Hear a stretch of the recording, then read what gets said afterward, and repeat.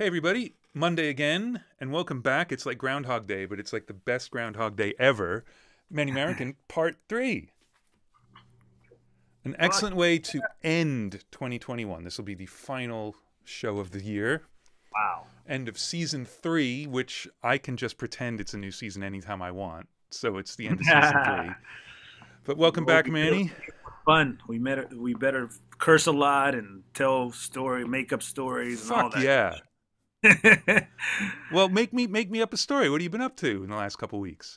Uh, man, I've been good. Just same old, same old, mixing away. You know, just uh, having fun.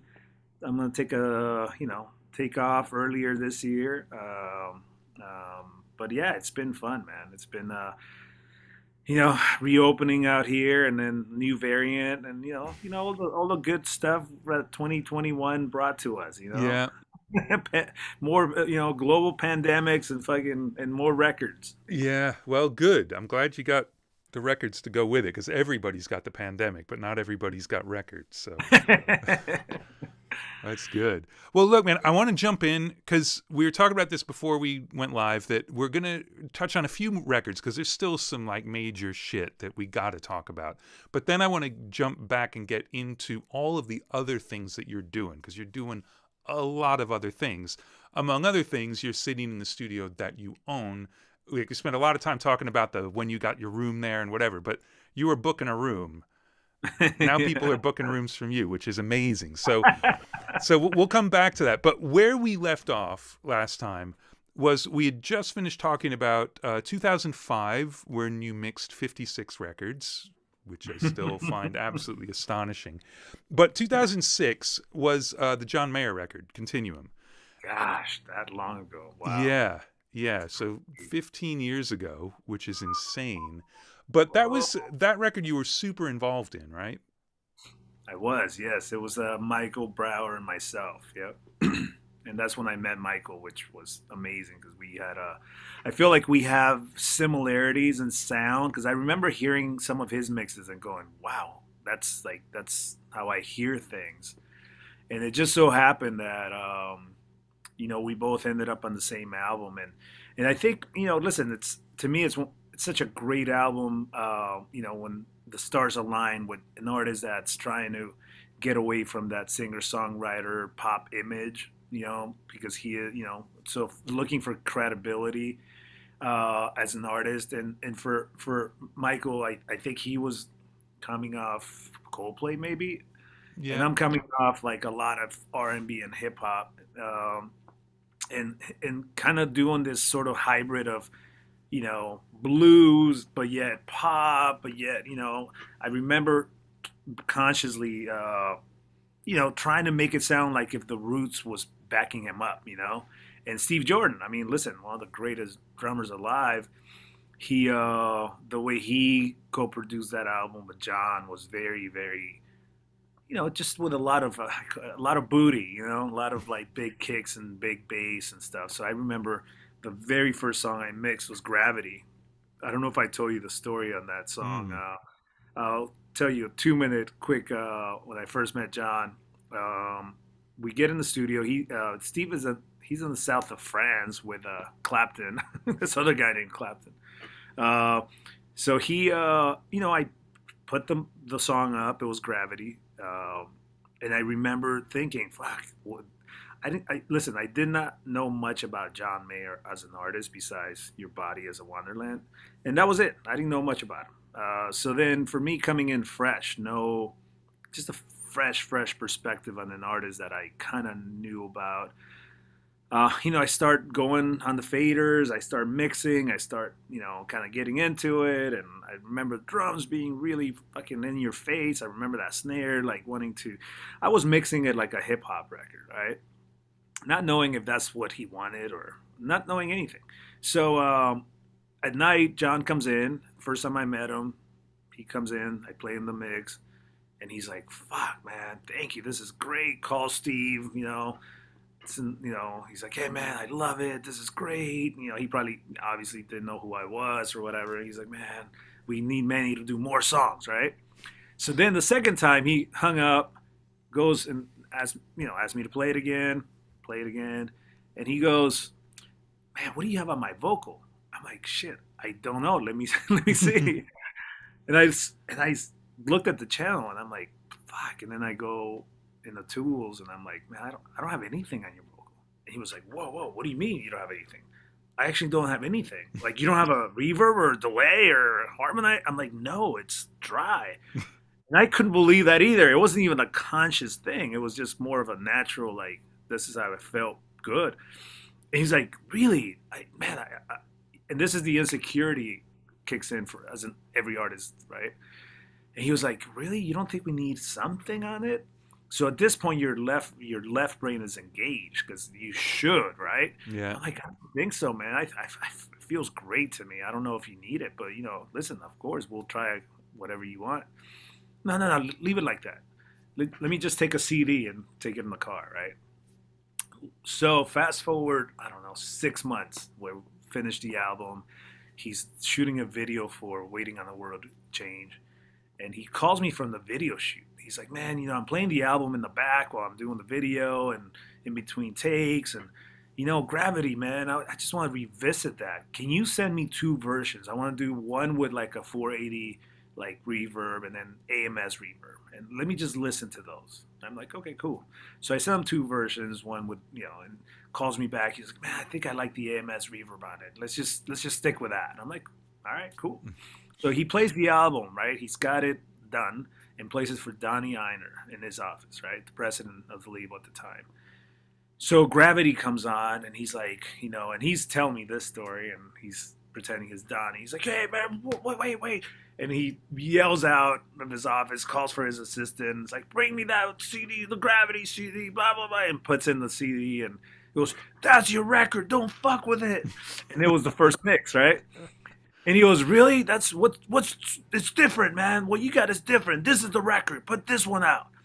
So then he calls me. He's like, hey, I just, I'm leaving Donnie's office and he wants to put Gravity the way we had it before. And I got to tell you, it makes me really uncomfortable, but I'm to roll with it. And then you fast forward five years later, and uh, he always brings us up like, man, listen, that's the moment I try to fight what was supposed to be and not what it was meant to be, you know, like from your gut. And from that moment on, he, you know, it was a great relationship because he started to trust, you know, and and because I, you know, I didn't make that decision based on anything, but I mean, if you analyze it and break it down on why that Mm-hmm. works, is shit gravity. You know, it's fucking, it's heavy. It's it's supposed to kind of hit you. In, you know, the first word that comes out, gravity should be right in your face, and it should be heavy, and it should be, it should kind of round, you know, fill the spectrum, and and that snare and that kick is just so three things: snare, kick, and boom, gravity. The moment you start adding any sauce to it, then gravity goes kind of away Yeah. from it. So I mean, again, when you analyze it, it kind of makes sense. But at the time, for an artist to be like, wait a minute, this just doesn't, you know, that's not the right way to do it. It just, it's a constant reminder that there's no fucking rules, you know, whatever, whatever feels right. you just go Yeah, and I think for me the key to that story is when he asks you what's on the voice, you were like, "Check it out, you'll never believe it, man. It's totally dry." like you had no idea. You put the vocal up at some point, and it was working, and so you didn't touch it. Uh, exactly. end of story. And you don't remember doing it. It's not. no. It's not about anything other than what it felt like. You know and that's that's the you know I, I like to think that that's more my approach you know as i'm i'm as needed type of you know i'm not you know hey the the kick should have this the vocal should have that the bass sh- should should have would have could have you know it's like hey just go with a fresh perspective every time you i throw faders. I always say when i throw the faders up let's just you know sometimes i don't even like to listen to the song beforehand um, just because I want that emotion just to kind of take over that that sort of right brain working, your gut, you know, and then then maybe you analyze it a little better. And uh, but it's just that I've always thought, you know, when you kind of, you know, whether you're in the box or not, you, you're doing making things based on emotion, right? Making changes and decisions based on emotion. Uh, sometimes that's easier said than done, right? Because sometimes you may be having you may be having a bad day, and you maybe you got into an argument with your partner or your kids or road rage coming in the tough streets of LA, you know? You never know. It, or you may be feeling amazing because it's a Friday and you're going to go away for the weekend. Whatever that emotion you have, you internal emotion, you know, that's going to reflect whether you like it or not on your mix and and I think the key is knowing yourself on what state of mind you're in um, and how you how you manipulate yourself. I, w- I was gonna say how you mind fuck yourself. I don't know. yeah, man. yeah, so that's you know it's all about manipulating the uh, your mindset and helping you get there. You know, and uh, and sometimes it helps you, and sometimes can get in the way. And when when that's you know when does that help you or hurt you type of thing, you know? And I think it's more of a psychology uh, uh, game that you play with yourself on every single song you, you yeah. work on. And you'd play it differently if you mix the same song again from scratch. Hundred percent. The first thing you do sends you down whatever road you're going to be on for that mix. Yep. It's, it's like I can imagine if you're playing a basketball game. There's no two basketball games ever the same. There's, no, man. Think about double headers in baseball. Mm-hmm, mm-hmm. You get crushed by 20 runs and come back and crush the other team by 20, and all you've done is change pitchers, and they were all pitching well that day. Like it makes no sense. Different variables, right? You know, all the different pitcher to the state of mind to the, the the sun or shade or lights and I mean, there could be whether it's 20 or 20,000 different variables that, you know, and each one may be just a tiny brick, you know, uh, but you stack enough of those bricks, right? And now it becomes a, a, a wall. yeah, it does become a wall. That is yeah. what you get if you stack a bunch of bricks, or you get a pile of bricks. A pile of bricks. If you don't well, use mortar, it's just a pile of bricks. Yeah, you know, back in the day, you know. Well, but that's not true either. They got the dry fit walls. Yeah, in fact, we got a we got a well, and it's all dry fit stone. There's no mortar in there, so I I'm talking shit as I often do. But I, I think it is. It's really important, and I think like one of my favorite ways to think about it is like for so long in science they thought like if you knew everything you would know what was coming next like the way to predict the future is if you knew everything that had happened up until that moment because it was all based on rules and then all the quantum physics dudes are like nope no, mm. completely fucking random. There's some possibilities and it could be and that's what's happening all day every day in any creative endeavor in absolutely. And, and i'm not saying it's because of quantum physics so in the comments go easy. I'm just i just there is so much random stuff. Like the phone rings that will completely change your perspective on the next thing you're going to do on that song. Absolutely you know, and that's why you know sometimes I have the TV on because that kind of gets me in and out, in and out, in and out, and that's why I tend to do a lot of sports because you don't follow a storyline, you just follow a score. Um, so it's much easier not to pay attention to it. But whenever I feel like I need a like a split second mental break, boom, I look at it. I may turn the commentator on for maybe two seconds, and I go right back to it. It's almost like a, a constant reset, constant reset. So you so, never in that bubble, you know. So let me ask you a question. Because you've got guys prepping your sessions and getting them laid out on the console so you can walk in and just start throwing faders, as you call it.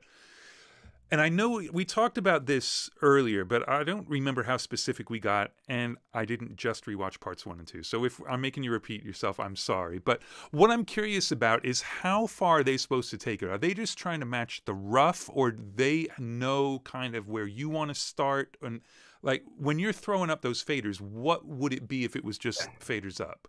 So right, so now it's really important for us to get the rough that everyone's approved, right? So label, manager, producer, artist, whatever that is, we get that. My guys get the session, and then they now make sure that arrangement wise, not sonically, but arrangement wise, that matches what we have. Right. Because eight out of ten times they send us wrong files. Right. And it's before where I mix it and they and I spend a day on the mix and they get it back and they're like, oh, someone sent you the wrong session. I'm like, fuck. so now, so now we make sure that every part matches that arrangement, and we make sure that if some idiot took uh, ozone nine that was heavily, you know, influencing the outcome of that rough, and they took it off, I need that back on. Right. You know, no so sonically, they're trying to get at least in the ballpark.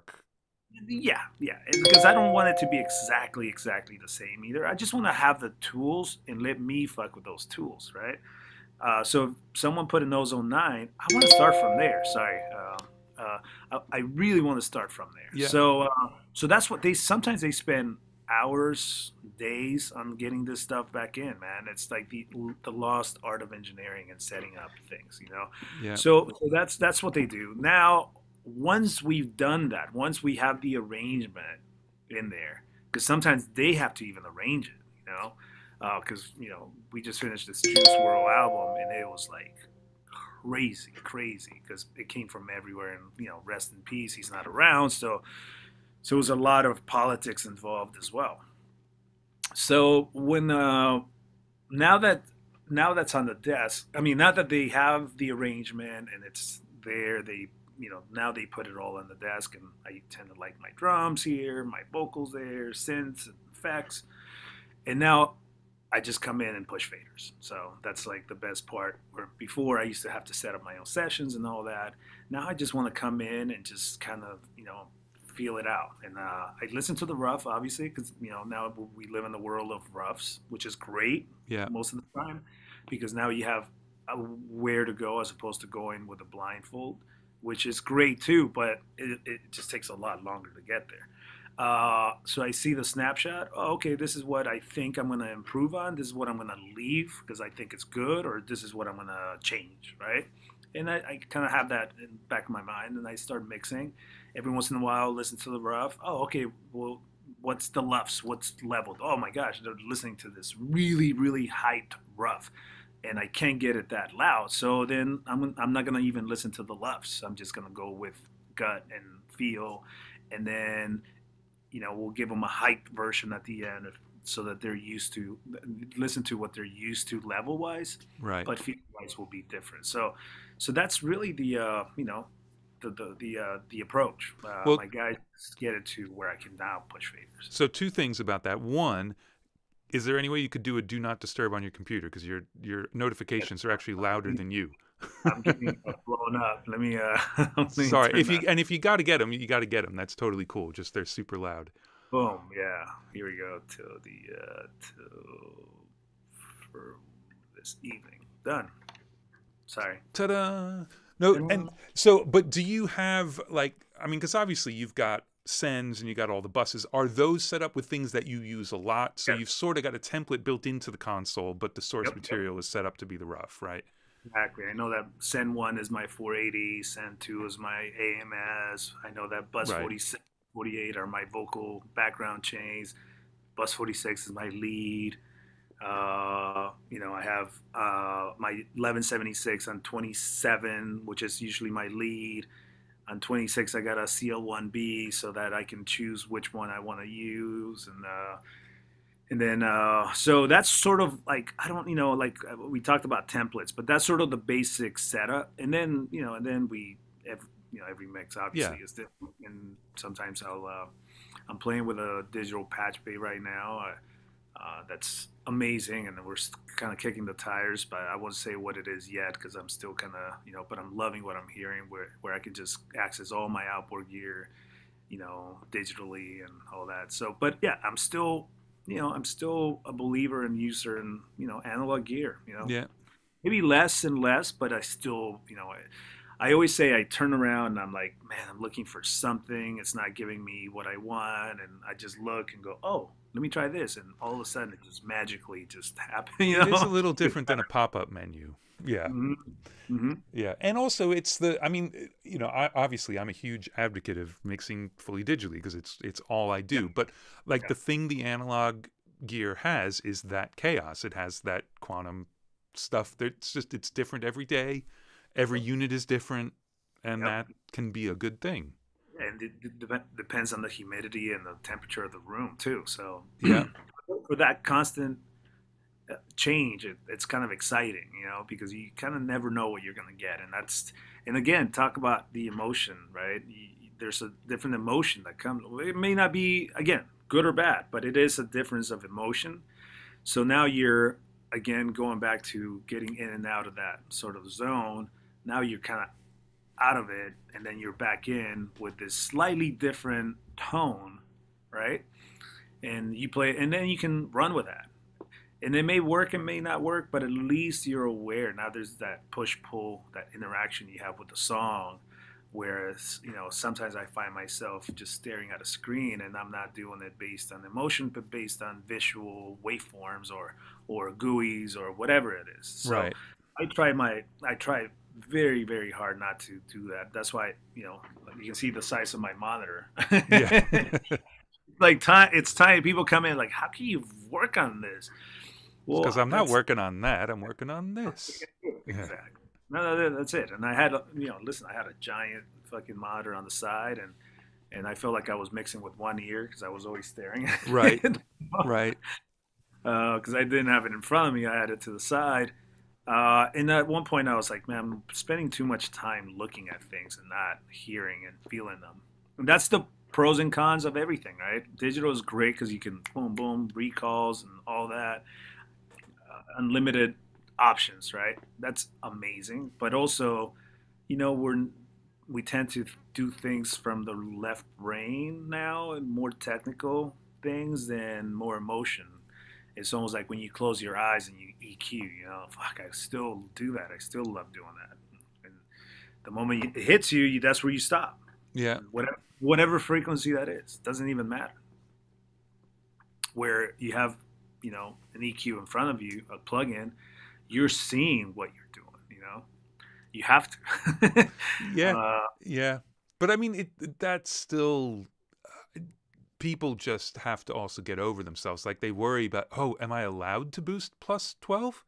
yeah, Like, of course. well, yeah, because maybe it's like 18 dB too quiet. Of course you are. Bo- Exactly. Boost whatever you need to boost. Yeah.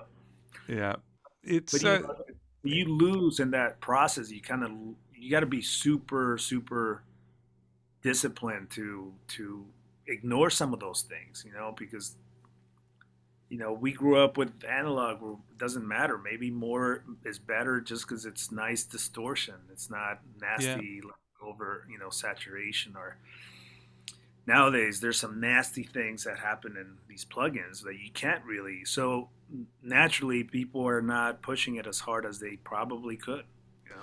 Yeah, and, but I think to me, I think. Oh, sorry, cat coming and going. Um, I think the one of the most important things, though, is what we touched on earlier about not remembering what was going on with John's voice. However, you're mixing, as long as you can get into a state where you don't remember everything you've done, then that means you've been creative and you've been listening. yeah yeah and sometimes yeah that's why having these conversations are really interesting because i'm it like we said before just takes me back and i'm trying to think of what i would have done because it's honestly it's not even conscious you know it's Yeah. almost like okay what's what's gonna get me there? Okay these plugins can help me get there. This piece of gear this you know stereo bus or it, you just hear certain things and you're constantly trying to reach that. And and these are just tools to help you reach whatever you have that you need to get out almost whether it's because you're listen you listen to the rough and you're trying to either mimic that or be influenced by that or, or inspired or doing the complete opposite. Um, so those again those are the things that are going through your head. Uh, i remember listen when, and i'm sure you've been through it where you mix for 12 hours straight and you feel like you fucking ran a marathon right? Because Yeah. mental i mean because you're mentally always always on. Like and you're not only on but you're like sprinting you know like Yeah, exhausting uh mental you know and that's that's something that we don't really talk about enough you know like the mental uh uh agitation i guess is the word or whatever we want you know it's it's it's it can be draining. And uh and and some some you know we all kind of keep going and knowing that we're mentally tired and we're going to make bad decisions now you know? but I mean, I've tried, like every once in a while, I'll try to sort of narrate in my head what it is I'm doing. Like most of the time, it's just you're in it, you're doing it, you're not really thinking about it. But sort of as an exercise, and it's impossible. Like the language can't keep up with how fast you're switching your focus and moving around and doing things. And it is a, a gigantic juggling act and i think that that is for younger mixers it's one of the most important things is to get to that stage to get off the kind of checklist of like all right now i better go check my high pass filters on stuff because now you're just thinking about high pass filters you're not thinking about the bass or the acoustic right, guitar right. and you know how right. it fits into the world and it's also i think sometimes people feel I, I, definitely have seen comments where it's like man you shouldn't have a template you got it every every mix from scratch it's like mm-hmm. the mental energy it would take you to mm-hmm. rebuild everything from scratch on every mix you'd never get a mix done yeah. You know, I think it's also important to define templates, you know, uh, because templates could be, for me, a template you know, could be okay, a drum bus, a bass bus, a vocal bus, right? Like stuff that, and you put all the same plugins, right? That could be a template for, you know, to me, I'm sort of against that. But a template for me is like we said, I have AMS on Send yeah. 2, Grady on Send 1, and and maybe I have my, you know, my my plugin as a, a send return with a dedicated, you know, uh, bus going into it type of thing. To me, those are setups, yeah. but not templates. So I think it's important to define that because one, one time I said, hey, don't use templates. And they're, you know, I think, I forget what it was. And everyone went like, whoa, what do you mean? no templates. What are you talking about? And I'm like, hang on, hang on. Let's define what that means. For that's my definition of a template. It's like if you're running it through your background chain and you have the same plugins on that, then that to me, you may not want to do that because, you know, not two background tracks are exactly the same. So you may want to play with different colors, different plugins. Yeah, you have your go tos and maybe have them inactive or something, but uh, try different things to kind of get you out of your comfort zone. So I, I always believe that once you get comfortable, once you come in and start doing shit just as a, like a very like a robot, then you got to change things. You yeah. almost got to be uncomfortable and you got to get used to being uncomfortable because that's when you're going to challenge yourself to, here we go. I'm going to use the same kick and snare bus and I have the 2044 on the kick and the 1073 on the kick for every fucking mix. Well, then it becomes very monotonous and that's that's when you start losing, you know, what why am I using the same two things on the kick for every kick if I I can honestly say that out of all the songs I mix, i've maybe 98% of them are new sounds, different sounds. They're very seldom will it be the same sound, the yeah. recycled sound. So therefore, why am I using the same thing? You know, so I think that that's to me that's the definition or just how I separate a template and not. You know. And I think of- from from most of the templates I've seen from people who are doing this, you know, for a living and are, are doing decently well at it, the better the mixer, the more of their template is parallel and may not even get used. Like, I mean, I don't know. I've probably got three or four plugins that are actually like, hey, audio will go through these definitely on their way to the mix bus. And it's like it's a de-esser. You know, right. it's but there's tons and tons of parallel stuff, and some of those mm-hmm. chains are really simple. Some of them are super complicated, and I'd never want to build them again because I don't remember what the hell I did.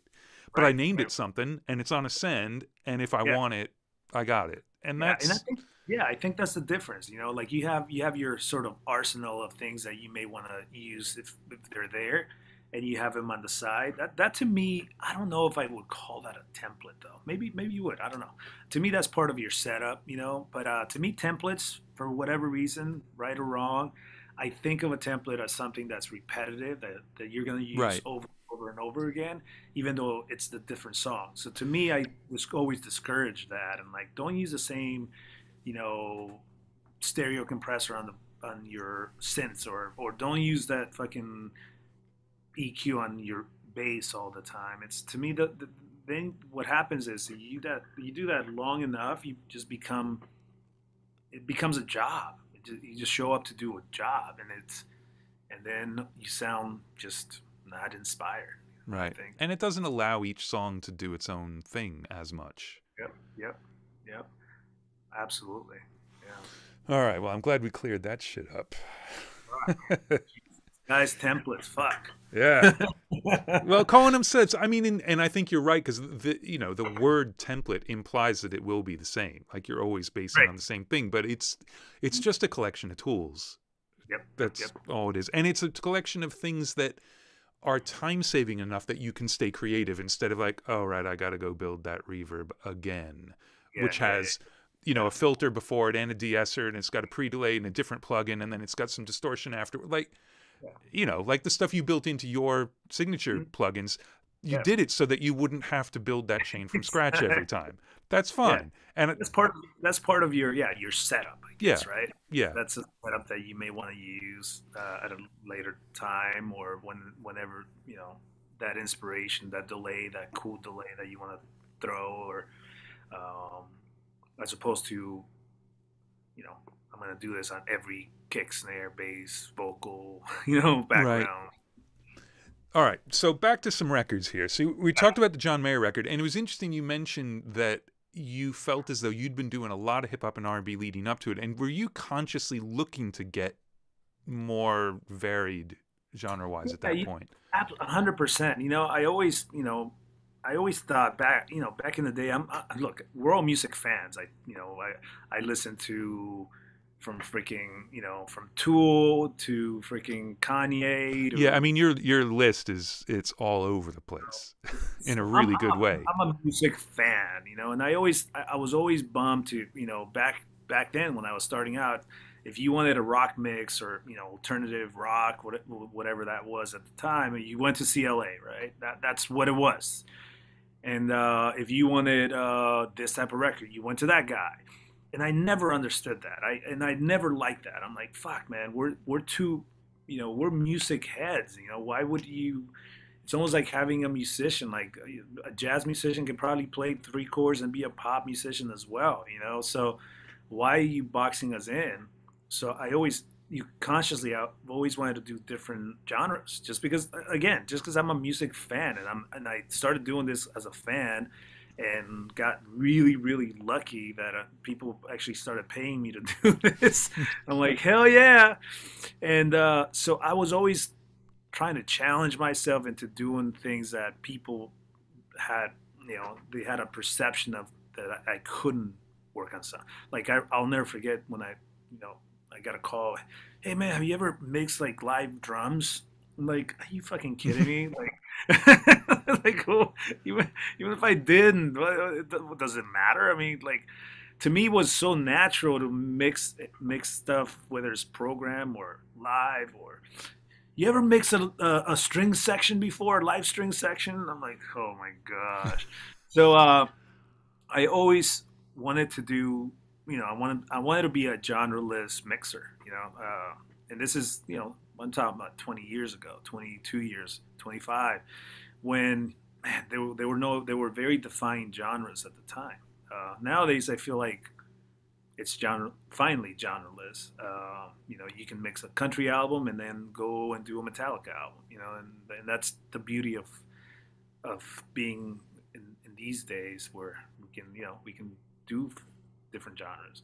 So for me, it was always like I want to do different things. You know, I've always been conscious, and I told my manager at the, you know, like even if we, even if I mix for free, I wanted to like, you know, that's what kept me going. You know, as a fan, and I think that's when you have longevity in any career, you have to, you have to really kind of get out of your comfort zone.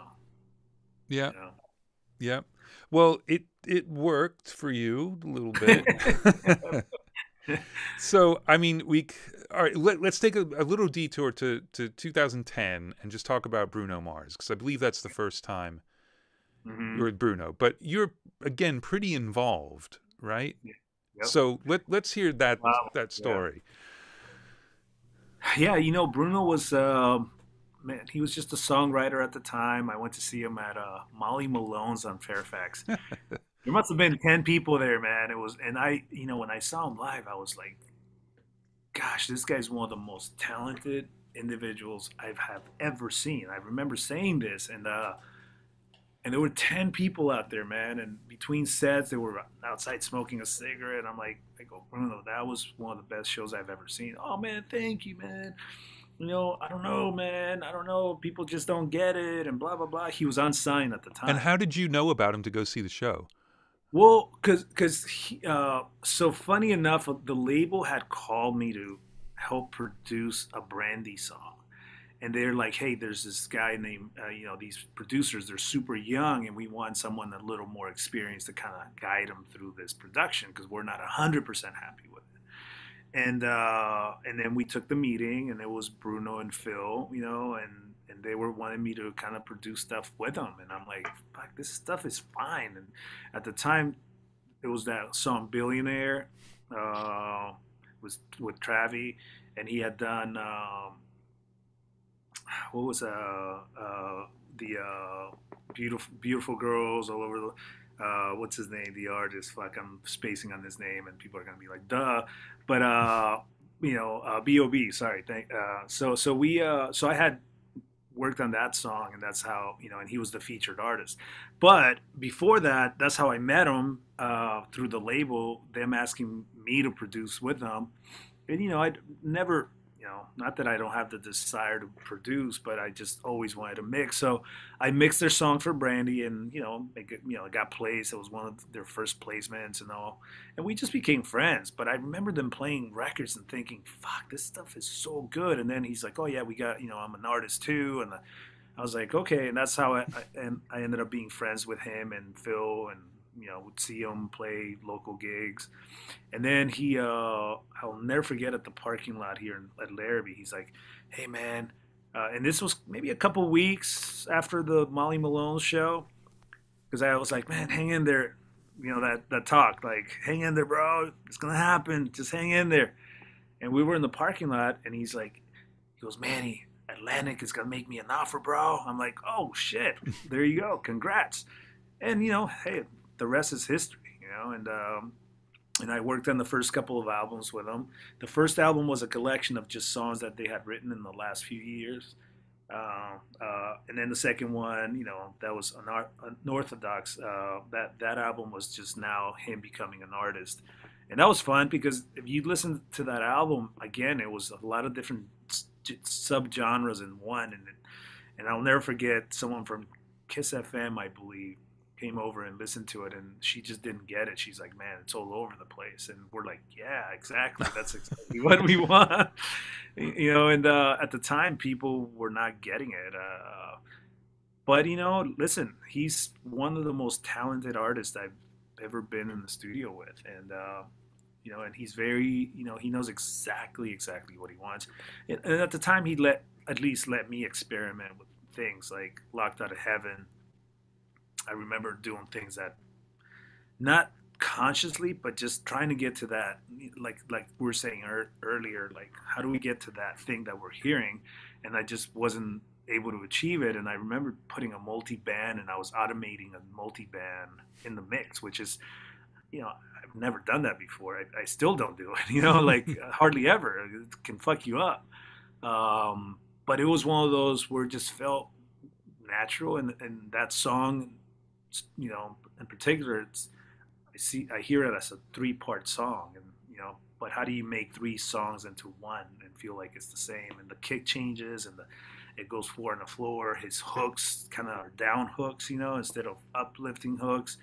Um, so all the challenges of how do you keep you know the listener kind of engaged, or you know, up to this point, hooks were like up. The, you know, it was like the biggest part of the song. I remember Bruno was the, the opposite. The, it was down hooks, which is really interesting if you break it down and analyze how that works and why that works. Locked Out of Heaven was that perfect example of music going to, to pop music going towards that direction of down hooks, you know, and and uh, for me that was honestly just a fresh perspective on on a, on a pop song.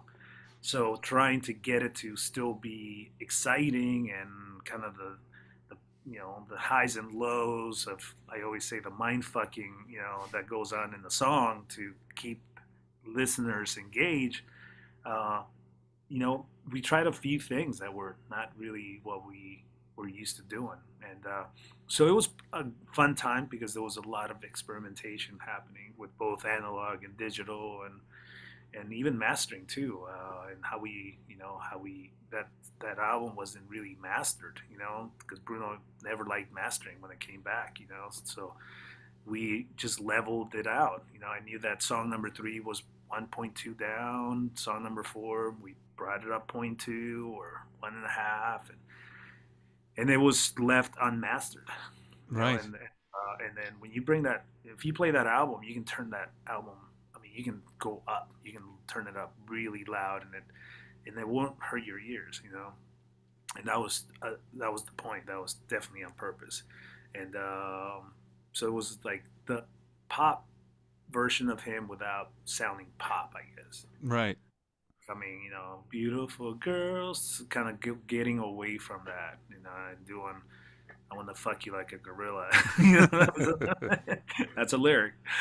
Uh, so um, yeah, he was graduating from being the the, the the the pop star that he was. Right. Right. And really writing for himself as well. What's that? Writing for himself as opposed to possibly writing for other people. Exactly, exactly. And that was many conversations on look, my first album was they were yeah, like you said, they were meant for other artists, not not necessarily for him. And uh, so yeah, that was fun, man. That was a, a lot of fun moments with uh, both Phil and uh, and Bruno. I love the the just the little thing about uh, people like, oh, I don't know, this album's all over the place. Like, have they not heard like two of the most successful artists in the history of pop records are the Beatles and Bowie? All those records are all over the fucking place. Man, I mean, even as an artist, when they go to Revolver, I mean, you know, can you imagine what that But would what just- that was like? But what about just within Revolver? You Yeah. know, Eleanor Rigby and Tomorrow Never Knows in with Taxman. Like, Yeah. you kidding? Three completely different albums, almost. You know, like- and they're also the answer to the argument of like how do you tie a record together like well you don't you, You don't. you don't need to and You know, some people say yeah. well the, the singer will tie it together well they had four lead singers it's just Yeah. just make the Yeah. record it's Yeah. gonna work record and hopefully you have good artistry that comes with it you know, Exactly. it doesn't work for everyone but some some of these iconic artists make it make it work yeah so let me ask you a little tiny question about the uh, locked out of heaven mix you're saying you you automated the multiband between these three sections of the song. You'd never done that before. I'm curious what brought you to the moment of thinking to even try that. Was it just like this tiny little blip? Oh, let me try doing that, or was it like a sort of a big idea?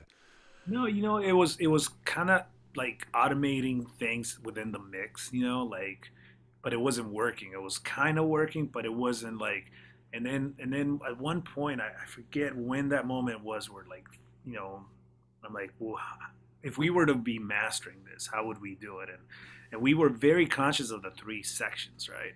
And i was like how do you glue them but at the same time have personality without you knowing it as a listener? Like maybe people when they go back and listen to it they'll realize oh shit it is three different sort of songs.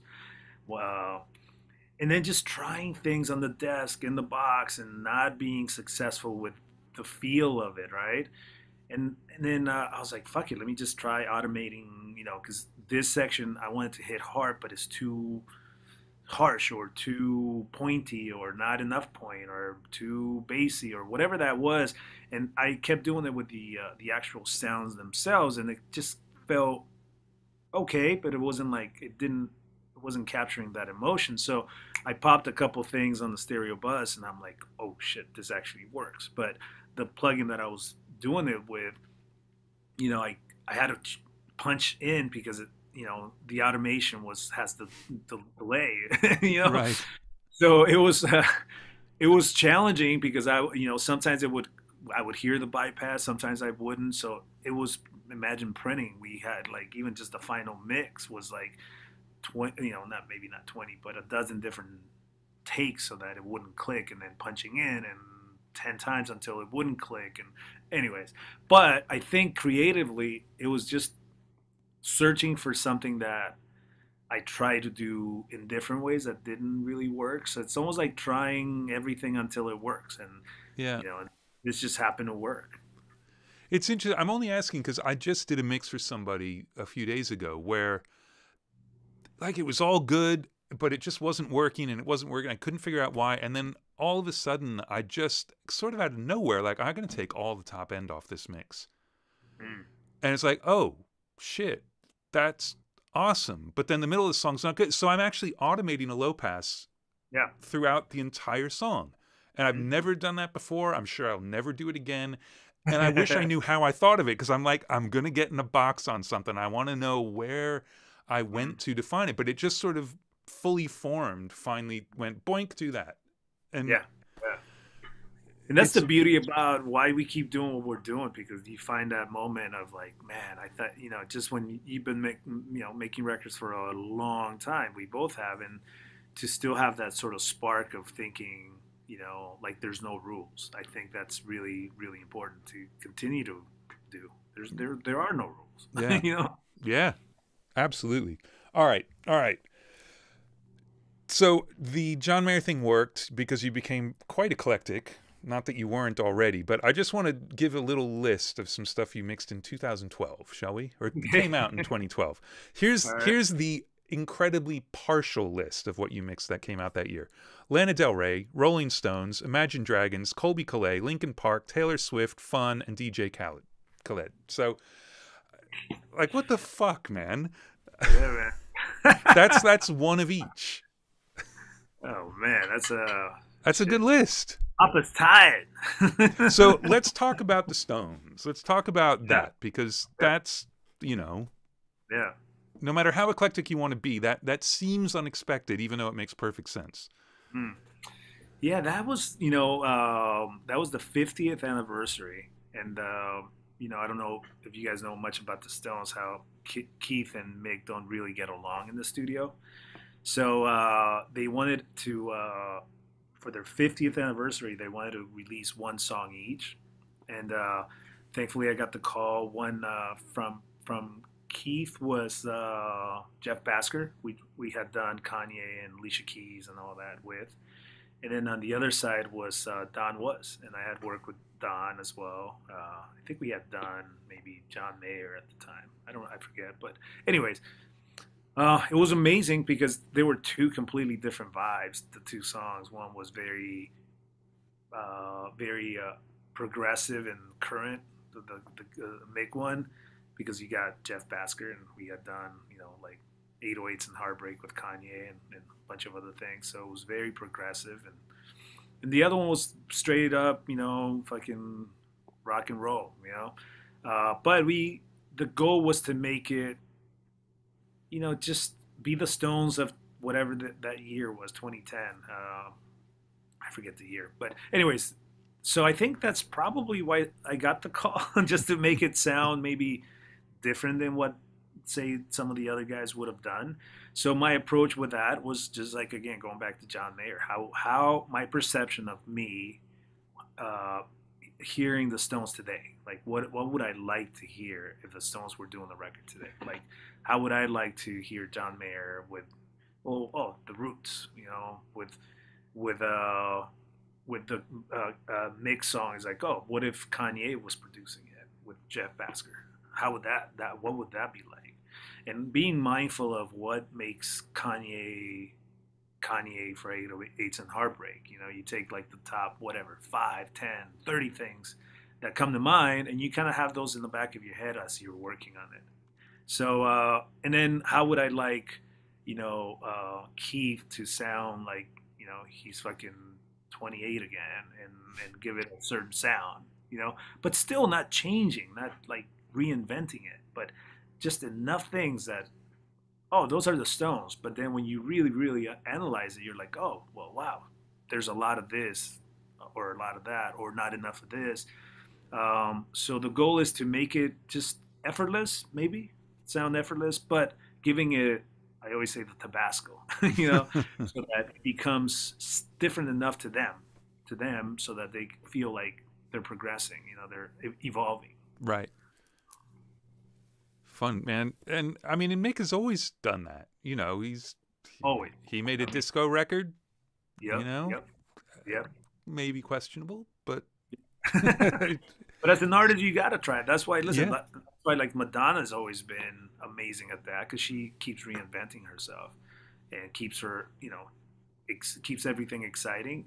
It, sometimes it may not work, but you know, you kind of have yeah, gotta have that mentality. yeah, but not not just copying. You Yeah. know, it's they're excited Copy. about what they're doing. I mean, you know, and Bowie made a drum and bass record, and Yeah. it wasn't so great, but he Yeah. made one.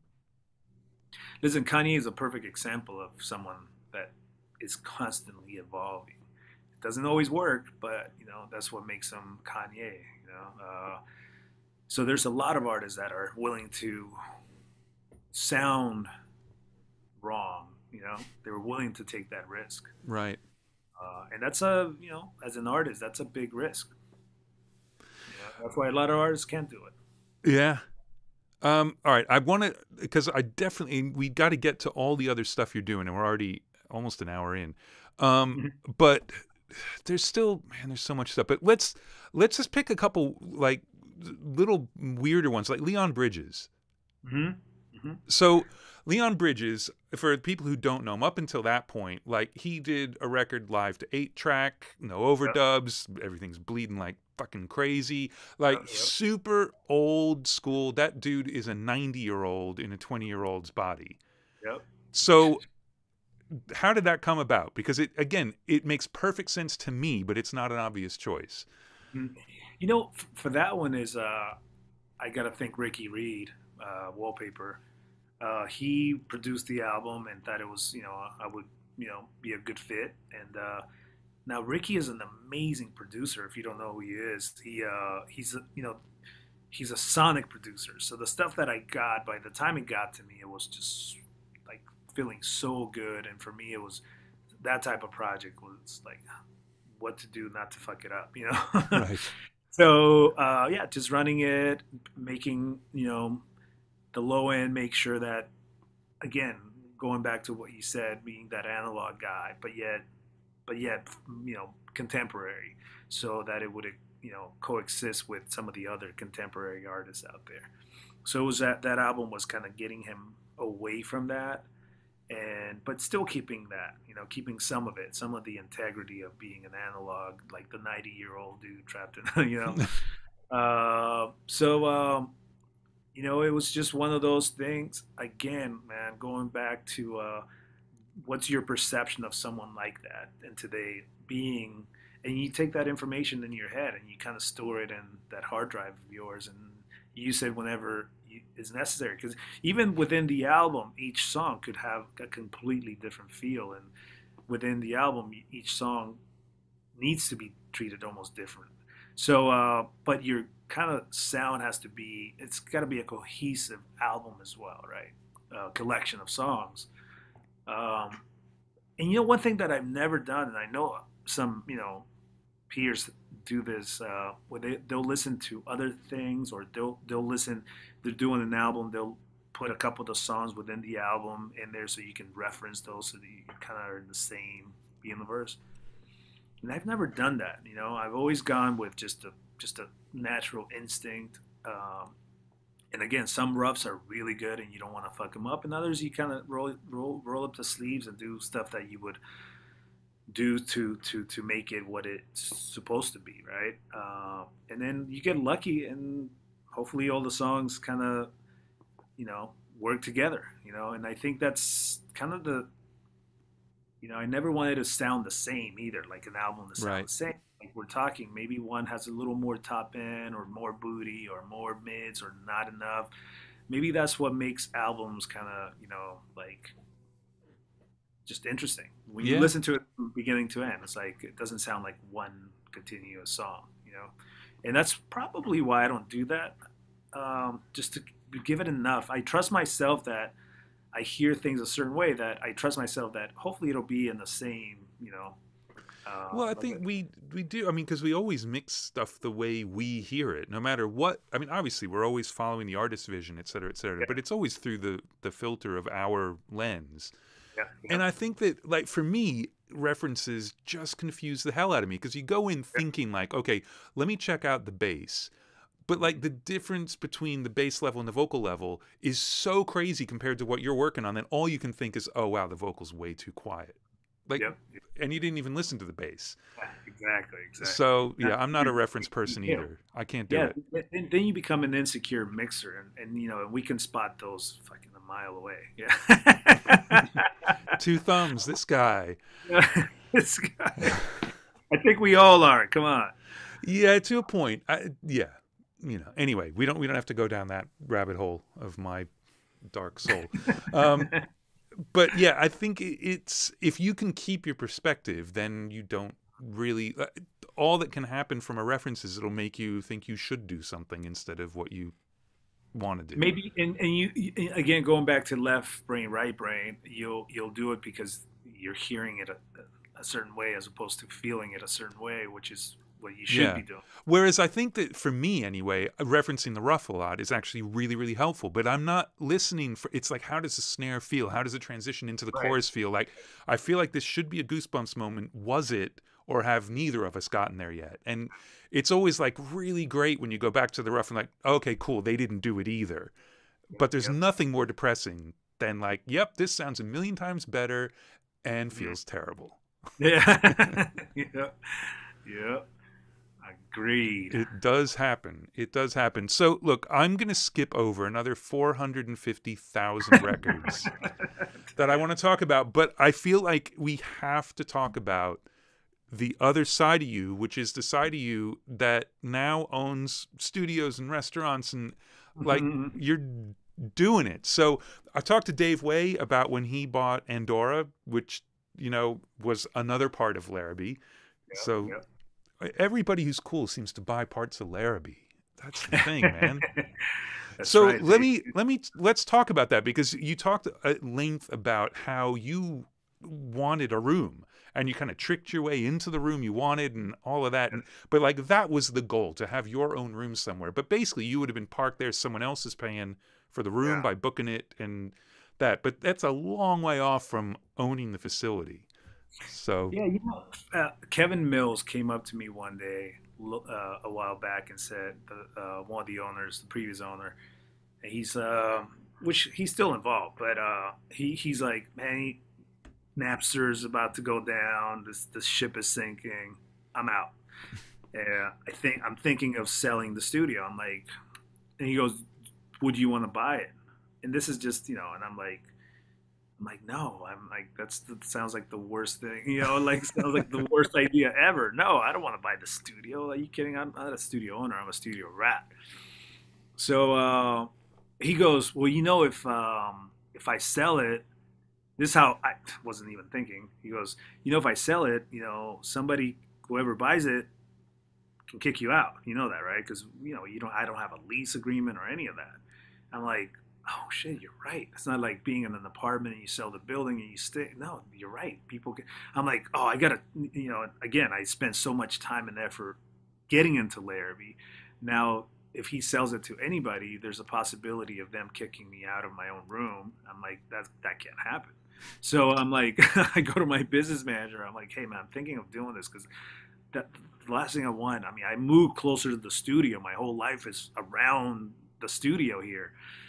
And he's like, Manny, that's the worst idea. You can don't do it. You know, the ship is sinking. Don't get out now. I'm like, and I went and I did exact. Everyone tried to talk me out of it, and I did exactly the the, the I did the opposite. I, I ended and what, up. What year are we in, approximately? Here. Oh gosh, um, you know, ownership took a few years because you know, listen, I, I, didn't have the capital at the time, and it just you know, Kevin, bless his heart, man, I love that guy to death, and he made it sim- easier for me to over time acquire equity as we, you know, as I quote performed, mm-hmm. And that was the best thing that happened because it wasn't like it didn't go from like here's a sale like like you're buying a house like from you know you close escrow and it's you it becomes yours. So it took years for, for, for, that to happen, but he made it easy for me to kind of transition. Uh, I had been a loyal client for years. You know, I've been in my room in Studio 2 at Larrabee. I've been there. I mean, I've been, yeah, it's been, oh gosh, maybe 22, 23 years.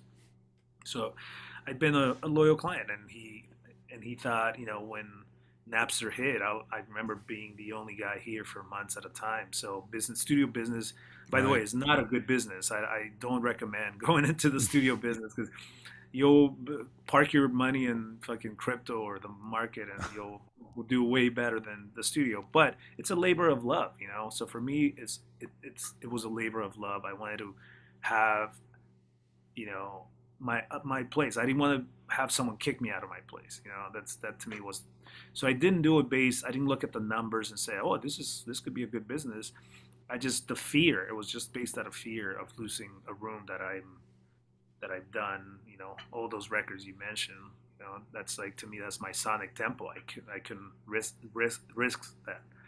Um, so you know, lo- long story short, um, you know, I started gaining that equity and uh, I had been very involved in the operation just because this is my home.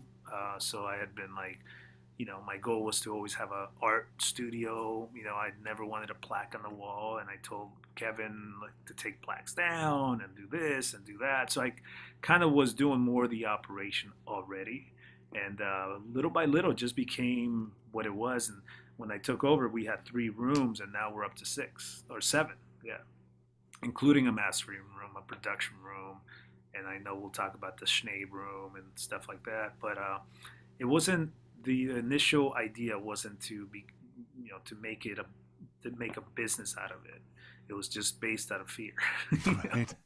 Well, because we we talked about this years ago when I was looking for what to do with my gear and mm-hmm. things, mm-hmm. and just talking about the fact, like for me, I've always had this like DIY, it's in my garage thing, and like somehow I make that work. And you're like, man, you can't do that. You need a place where people can show up and be like, fuck yeah. Yeah. And it's really important for your clients to be able to do that. And so, it, some people might think like, "Oh God, he's scared of the you know losing the room." And obviously, you're comfortable in the room, but you could mix in the back of a bus and you'd be fine. I should try that. You, you, should try that actually. Not not even an airstream, just like some city bus. You could do it. You could do it on headphones with a four track, and it would still be oh, better oh, than what most people were doing. But but the point was, it wasn't just the console or the gear. It was everything about it.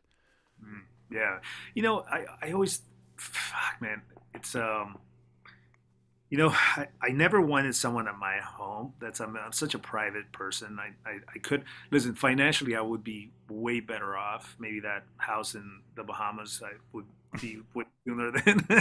so financially, I, I'd probably be way better off doing it, you know, in my home, really, and or somewhere, you know. Uh, but that to me is like to me was never the choice or the uh, an option for for me. It's always been about I know this may sound weird or silly, but uh, to me, I was a purist for the art form and not necessarily for financial, you know, which, look, it's a very naive way of looking at things, but for me, it kind of worked, you know, it kind of worked. I never thought, oh man, I'm going to pay X amount where I could be getting it for me instead of giving it to Larrabee. And, um, and my mom always, she's always said, mijo, always anything you do, don't do it for the. Of course, we need the money. Uh, we all need it, but th- that can't be the reason why you do certain things. And I always had that in my mind. Like, look, if you work hard at something and you put your heart and soul into it, hopefully good things will happen, and they will happen with time. And you just gotta have patience, right? But you gotta work hard and you gotta be smart about it. Uh, you can't just like not work hard and expect things, which is a lot of us tend to do that too. But um, for me, it wasn't even about a business as much as like, look, I want to create the best possible scenario for me to be able to perform uh, for my clients. Because look, I still take it seriously. I think it's the bi- biggest compliment that someone is willing to pay you money to work on their baby. I mean, that still to me blows my mind to this day. You know. And I'm very humbled by that, and I want to continue that, and I want to continue to give the best possible service. So if I was, you know, for me is like if you want to come and and we have an espresso machine and you mm-hmm. can have that experience, then great. You know, that's part of that's part of it. It's like an experience and I want to be able to come in and have the tools that I need that I think I need to hopefully perform at its best, you know, and I and I think I owe it to the people that are paying me to do that, you know. Yeah. So that was the idea, you know, that was the simple idea of like okay, let's let's do it. Let's see. Again, I didn't want to acquire a studio. That's you know that wasn't on the agenda. But uh, but it's worked out. You know, knock on wood. It's worked yeah, out. Yeah. So. Well, look, I, I think that it's it's also it's the bigger picture view of what Kevin was seeing. He's seen the music business is going to implode. like they've been printing money for years and years and years, that's going to stop. He's absolutely right about that. But if you think it all the way through, what you realize is supply will meet demand in the recording studio game, and there will still be a much smaller number, but there will still be high end studios because there will always be high end studios, and you're perfectly positioned. Yeah, you know, before uh, these studios were owned by individuals that were not in the business; they were just businessmen, right? Because remember back in Record Plant back in the mid 90s was like 3500 a day for a room for a 12 hour lockout the moment that 13th hour it was like 500 an ex- extra an hour for yeah, overtime Yep, and you're paying for your waters after the first day, and yeah, uh, yeah. I mean, I saw the bill. I'm like, you're charging me, charging me for water, okay? But hey, listen, you know, labels didn't didn't mind paying that, and it was a legitimate business for studios.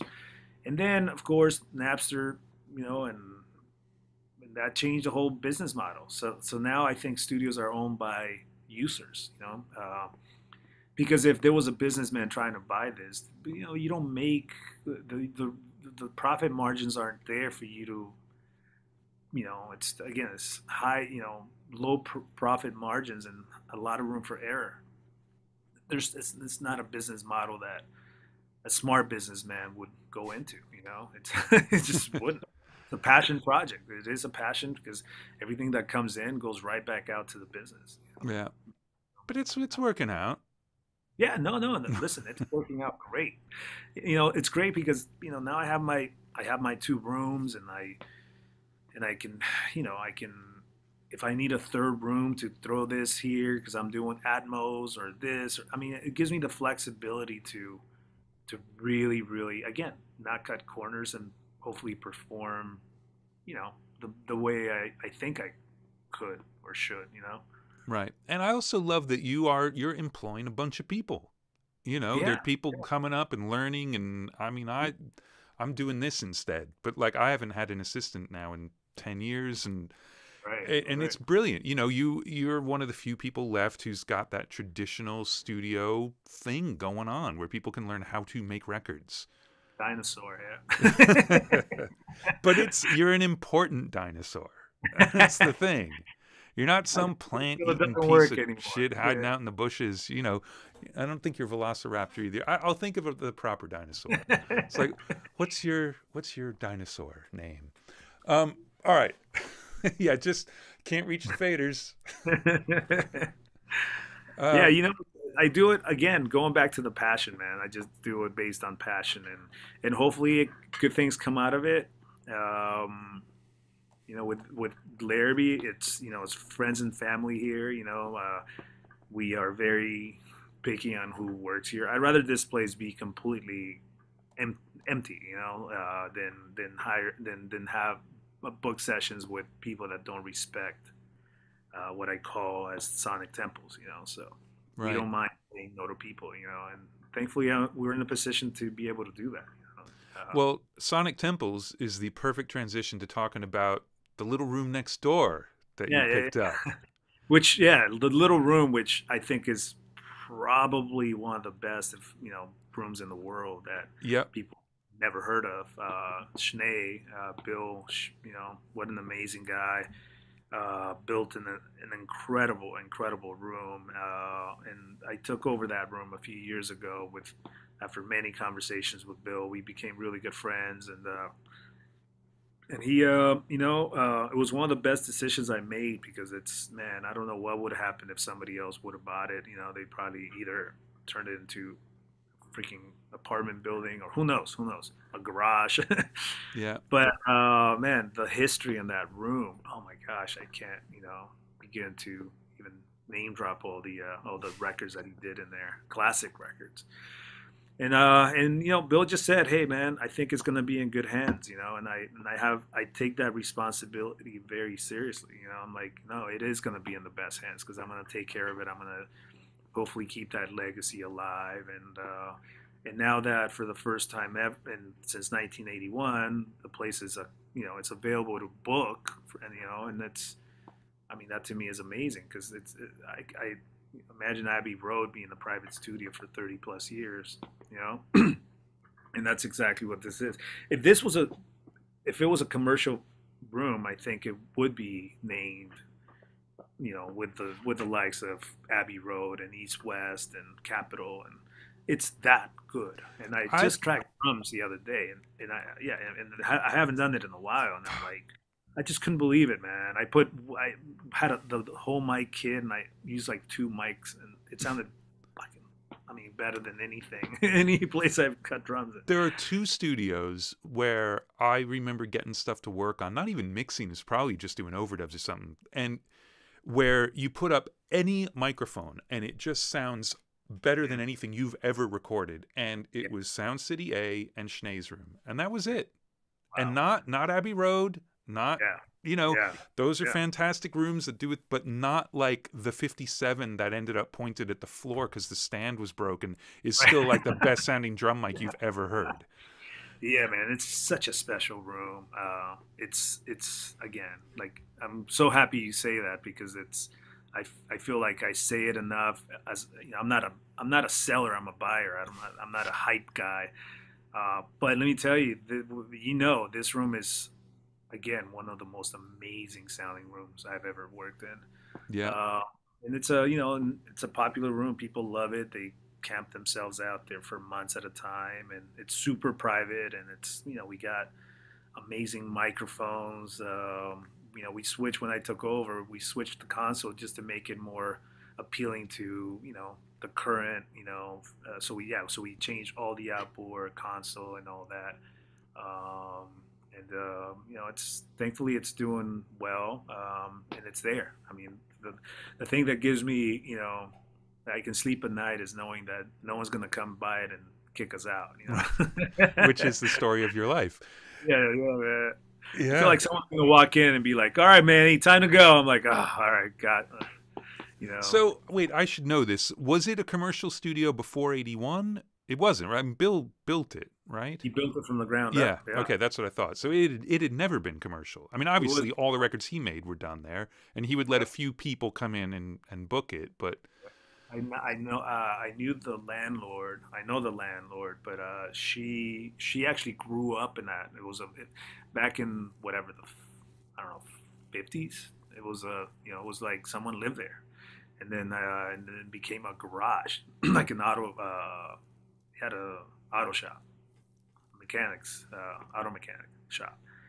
And then Bill, I think, took over and just built it from the ground up. Right. Well, let's creep a little bit further north on Lankershim.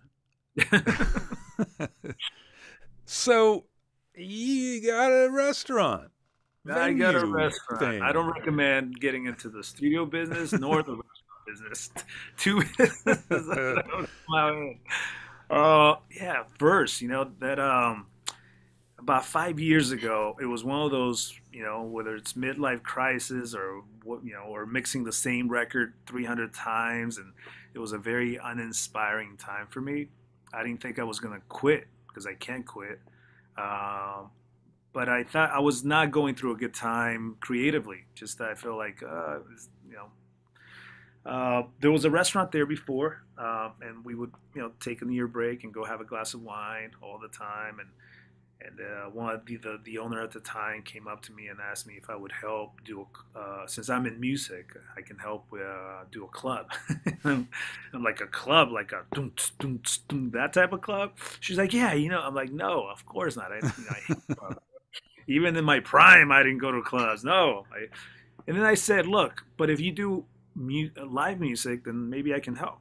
And that's really what, you know, kind of triggered that. I always, you know, I thought, you know what, talking to my mom, mijo, you know, like they always say, follow your passion, right? That's, that's what everyone says when you're, you're in a rut.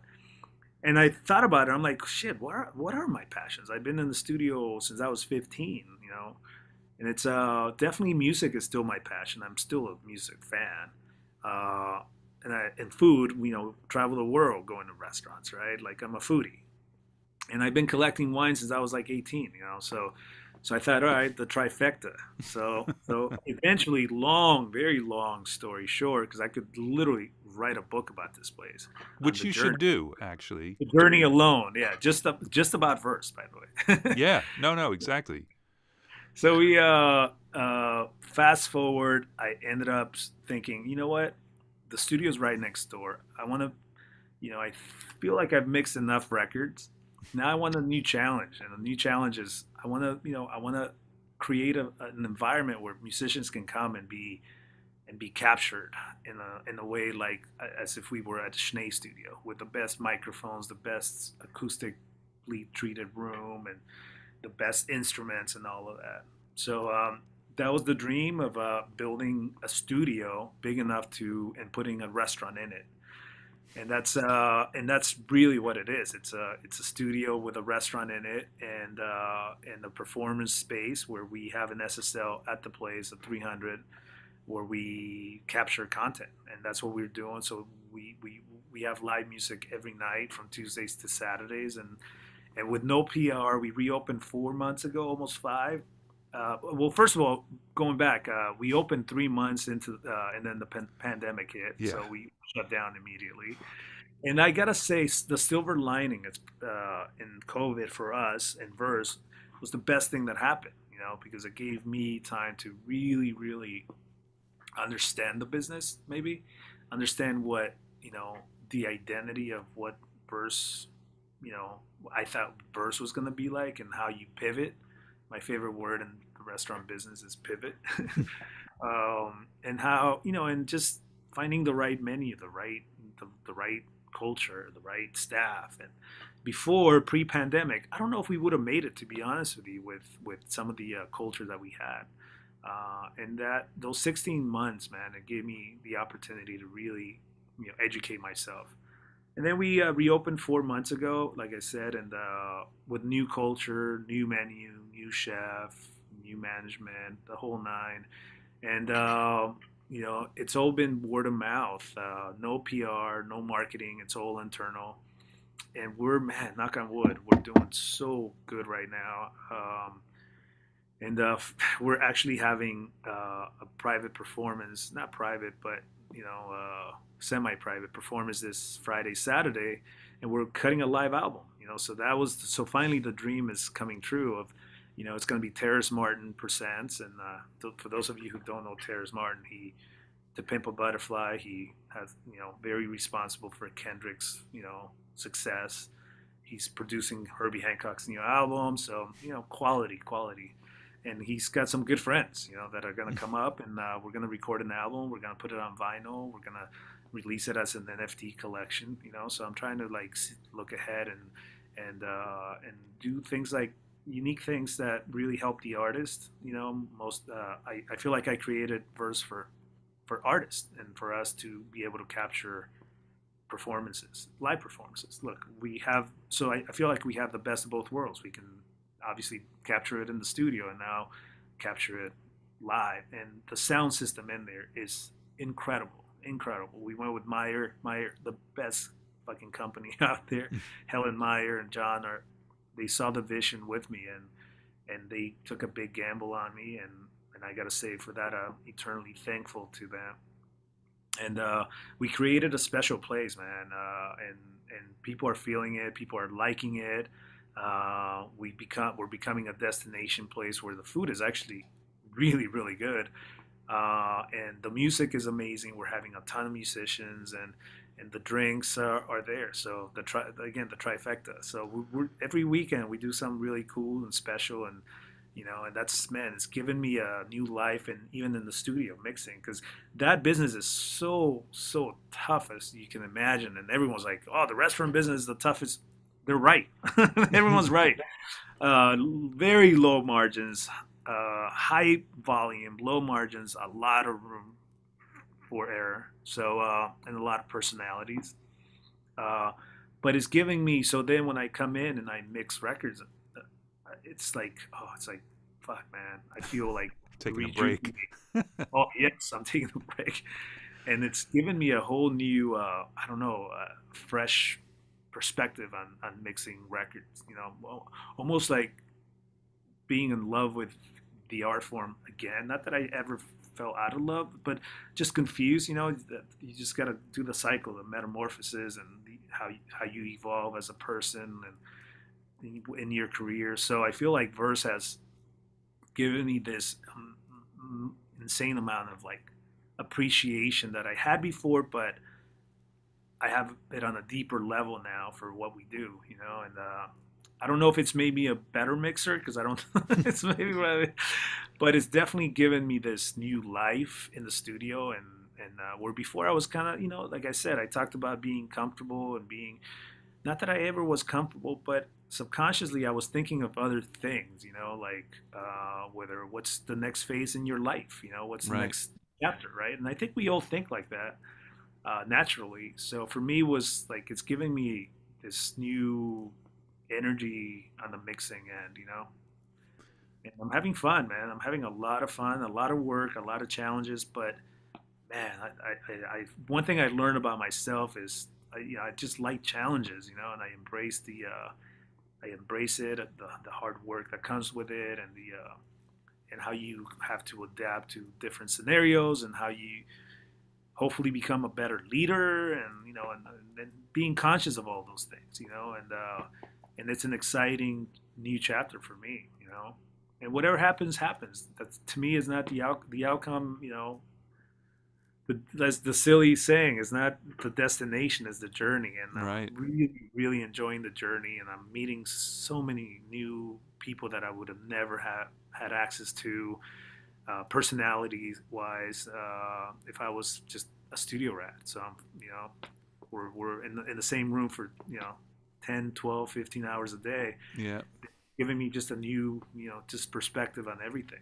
So for that, um, for that reason, again, whatever happens in the future, it's already a success in my mind. That's awesome. So I got two questions about it. One is, well, do you want to talk a little more specifically about the sound system? Because it's not just like a PA, like it's serious. There's uh, it's an immersive. Uh, well, first it's a convolution physical room so we can actually make it sound. Inside you can make it sound like a tight jazz club and we can go from the walt disney hall to the lincoln center to the taj mahal. And it will i mean when you hear it it really fucks you up because it's it's incredible what they've been able to do. And it's a noise cancellation system as well. So even on Saturday, we had, gosh, we almost had 200 people in there, in and out. And at one point, we had about 110, and I went and checked it out. And and you can still, you know, imagine each table has a uh, spotlight on them, right? And the person, the table next to you, you can't hear their conversation, uh, no matter how much you try. That's amazing. Uh, you just hear energy and you hear f- few words, but you cannot make it out. But then the same person, the same distance, person that's across from you, you can hear everything and uh, so it's uh, it's almost like you're in this bubble, and it's uh, that zone is the, the phase is flipped. Uh, so it's uh, you know kind of cancels out. But they have we have 60 plus my uh, speakers all over the place. We have eight subwoofers. We have 19 microphones, and the microphones are picking up the energy. So it's the Charlie Brown effect where you hear energy, but you can't pick you know you can't make out what they're saying because you're hearing the bar maybe as loud as that table next to you. Right. speakers, right? And then, and then we, you know, they face canceled all of the silverware, so you don't hear any, you know, clink, clink, clink, you know. And, and that's really important because for me was capturing good content. So so the, the artist that's playing, they don't hear that annoying laugh or conversation right in front of them, and they don't hear people eating in front of them either. You know? Right. So that as an artist, you know, we're changing the perception of what a quote supper club is. You know, back in the 40s, 50s, you, you know, when we would go out, not we, but people went out, they, uh, you know, they got dressed up and they went and they went to eat, and then they had their martini, their steak, and they always had a live performance, right? That was that was part of going out. Somehow in the 60s, I don't know when that happened, where that stopped. That kind of, you know, and so to me was like what would that be in 2021 2022 like you know how can we well we're not going to have a steak. We're going to have hopefully some you know we call it angelino cuisine. We're not going to have a martini. Maybe you have a cocktail and we have music that's not jazz but it's maybe it's a pop band or maybe it is a jazz band or maybe whatever whatever it is it's just quality musicianship. And i got to tell you man what we've discovered is like people are not used to that but they love it they love love live music while they're eating while they pay paying attention they're having a conversation. So so it's not like you're there to see a musical performance. You're not there just for that. You're not there just to eat. You're not there just to drink but it's part of the soup the, the whole experience. And we're discovering that that is something that is needed you know that uh, in the entertainment capital of the world which is la nothing exists quite like that, and it's a shame. And now, hopefully, we can, you know, there'll be copycats because I, I feel like this, you know, um, we're employing a ton of musicians. We're employing a lot of people that are really, really, really into music and in the trifecta, and and uh, and guests are coming from all over. I mean, we've had guests coming from Texas because they heard about us, coming from Vegas. And when wow. we're, we're in LA, we're gonna go to Verse, and so it's finally happening. And and uh, from the restaurant side of things, and for me, capturing content like what we're about to do this Friday, it's you know we're gonna release a, probably 100 vinyls. We'll destroy the, the you know the master, and then we'll, it'll be sort of like that NFT, and then we'll also release it with some some uh, digital content so that it becomes so that hopefully the musicians can have a new platform, you know, right. to to be able to uh, you know monetize their art form. So again, this is all for the artist, man, and hopefully I, I always say it's a uh, it's taking the uh, being a fly in the wall in the recording studio to a new level, you know. Uh, and hopefully that happens, you know, uh, this Friday. And we've done it twice already uh, with albums, live albums. You know, hopefully these flies on the wall can have a good time and see what a recording is like. You know. And I love, I love that you're you're catering to the musician, but also to the diner, because I can't tell yeah. you how many meals Debbie and I've had where we don't say a fucking word because the table next to us is so loud that we just sit, we eat, we get out to the parking lot, laugh, get in the car, and go home. Like yeah, yep. it's yeah, yeah, it's a problem. It's annoying. It's annoying, and there's studies on the psychology of that too. You know, it's uh, and how sound, how you adapt to it, and how men, especially as we get older, we listen, we hear different frequencies because of your hair follicles and how what that frequency is and how annoying that can be. Uh, not not adverse, man. It's pretty. It's an incredible, incredible sound. And again, not taking any credit, but giving Meyer all the credit for helping me, you know, build this with this vision that that I, you know, that I had, and they were able to, you know, help out. And uh, it was beyond my expectations, and you know, and uh, and for that reason, I think people are connecting. You know, and that's the one thing that they all say is like we can actually there's this five piece band and we're 10 feet away and we can still almost whisper to each other and have a full on conversation uh, and the food is amazing uh, so and you're not making the musicians feel like shit by talking exactly. while they're playing yep yep because they don't hear anything you know they hear the energy again uh, so it's you know hopefully it's a win-win-win it's something that's never been done before quite like this you know? So i hope that uh, you know people keep embracing it and uh, hopefully we get the support to be able to keep hiring musicians and keep doing really unique content and and uh, just keep pushing the envelope you know and be, hopefully be forward with it you know using technology. I always say i, I run it like a tech company uh, because we have digital platforms on how to run the restaurant and how to you know uh, just a whole list of things using digital platforms to help us be a better business uh, and be a, hopefully a successful business. You know? That's amazing, and I love the fact that you've got musicians hired five nights a week playing. Yeah, yep, yep. Yep. I mean, and that just in and of itself, booking that many artists is that's amazing. And has it turned into a venue where touring musicians will play it yet, or is it mostly local? I think it's all local, but look, we're only four or five months in. I, I mean, I, I, think I hopefully in the next couple years, it, it hopefully becomes a, a name everyone recognizes in the industry and and they trust. And uh, I do believe that hey, if the Stones are playing SoFi, you know, maybe they'll come and do a little, you know, little, little show, yeah, type of thing. You know, that's I hope that happens because it's it's too good for them not to do it, and uh, and I think as labels and artists start discovering the quality of it. Uh, again, I'm a buyer, not a seller. You know, we have done zero PR, zero marketing.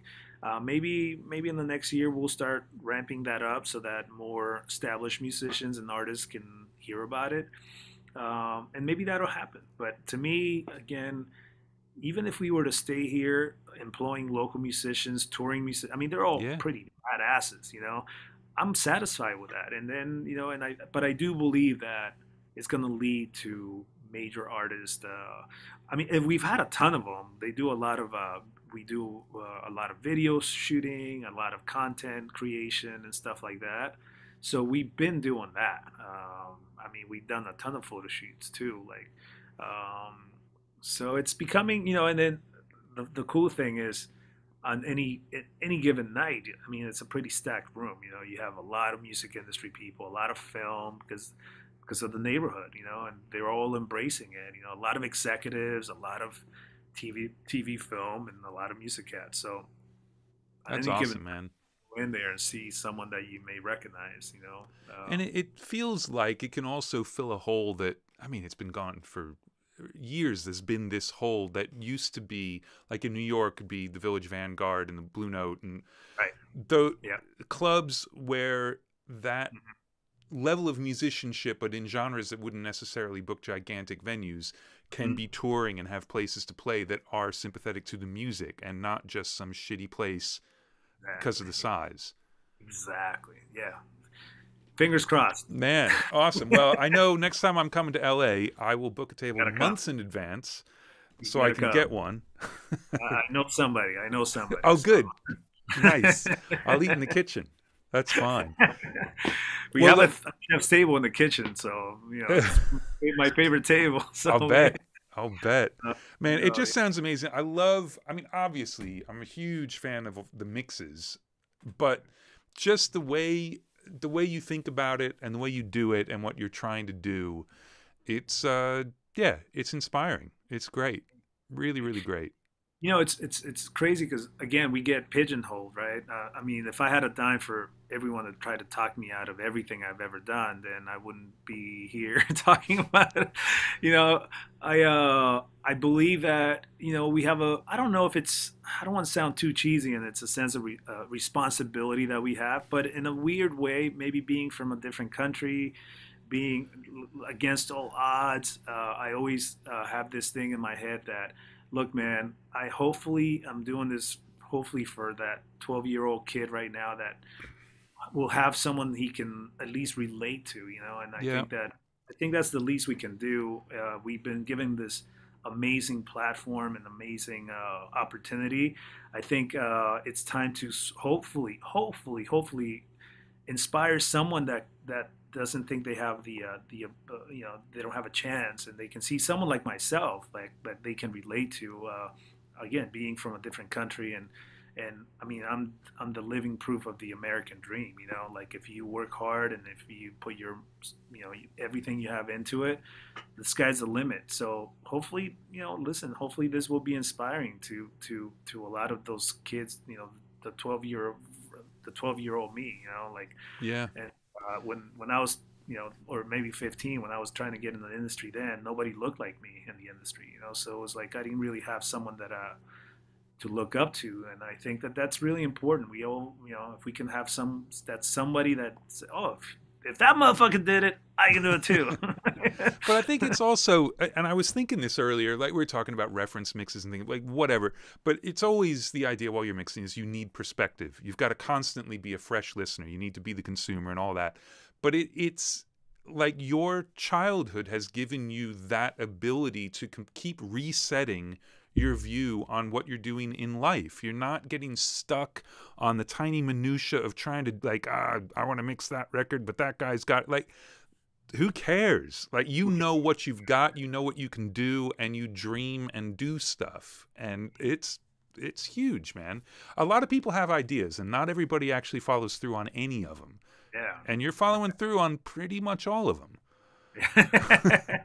Listen, I don't. Uh, it's hard. It's not. You know. It's you know. It, it's not easy. But I feel like, fuck, man, you, you got to take chances. You you know. Again, we, we- mixers and engineers. They always you know we're the lowest hanging fruit, and people don't think we can do things. And to me, I got that chip on. You know, I'm like, when you tell me you can't do something, if I believe 100% in it, I don't listen. You know, I actually yeah. use it as motivation. you know, like, I mean, listen, I was in high school and I wanted to be, uh, I don't know if I told this story on a few episodes ago, but, uh, you know, people try to talk me out of it. Like, they wanted me to fix gear. They wanted me to, because, because I, you know, English is obviously my second language and, and they didn't think I could be in the, in the room with an artist. So, hey, why don't you go in the back and fix gear? So to me, that I'll never forget that moment when that professor told me that, and uh, and told my other um, friend that I was with, giving him all the uh, you know look different than me, but he was like, yeah, you can come to this school, you'll be a this, and you're an engineer, and blah blah blah,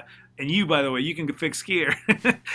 I'll never forget that. I still like like it happened yesterday. I can if I knew how to draw, I can you know describe, draw the room, and I remember every the, the, the wood, the console, the speakers, everything. Him telling me that, and I wow. I, no, you didn't tell that. that one, man.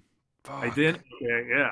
I held that one, and I still have it here. Not because he was an a hole or anything, but I use that as motivation because this guy is literally like I'm trying to follow, pursue a dream, and he just like nope, you're not going to make it. So therefore, but if you want to be in the music industry, there is a way you can do that.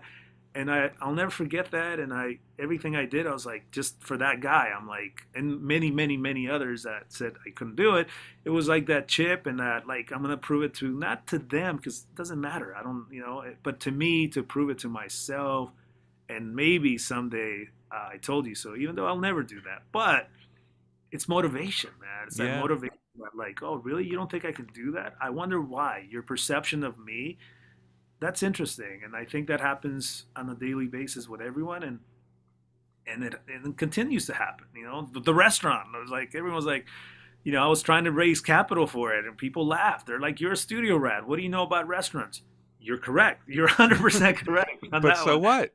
Yeah. But let's let's let's let's dream bigger. And no, nobody. Let me tell you, nobody believed in that. I mean, nobody like you know again i'm a buyer not a seller that was the hardest thing to sell the idea of what it is and people like dude just stick to making records. I think that i think there is a, there's a weird perception issue where like i mean first of all people think we don't work for living and fair enough. Like there are plenty of jobs that are a lot harder but it is it is hard work. And you talk about like the mental fatigue at the end of a day? Like we're working very very hard at what we do. Like that's yeah. whatever and some people will believe that, some people won't. But I think what gets overlooked a lot is, especially for mixers, we are 100% entrepreneurs all the time.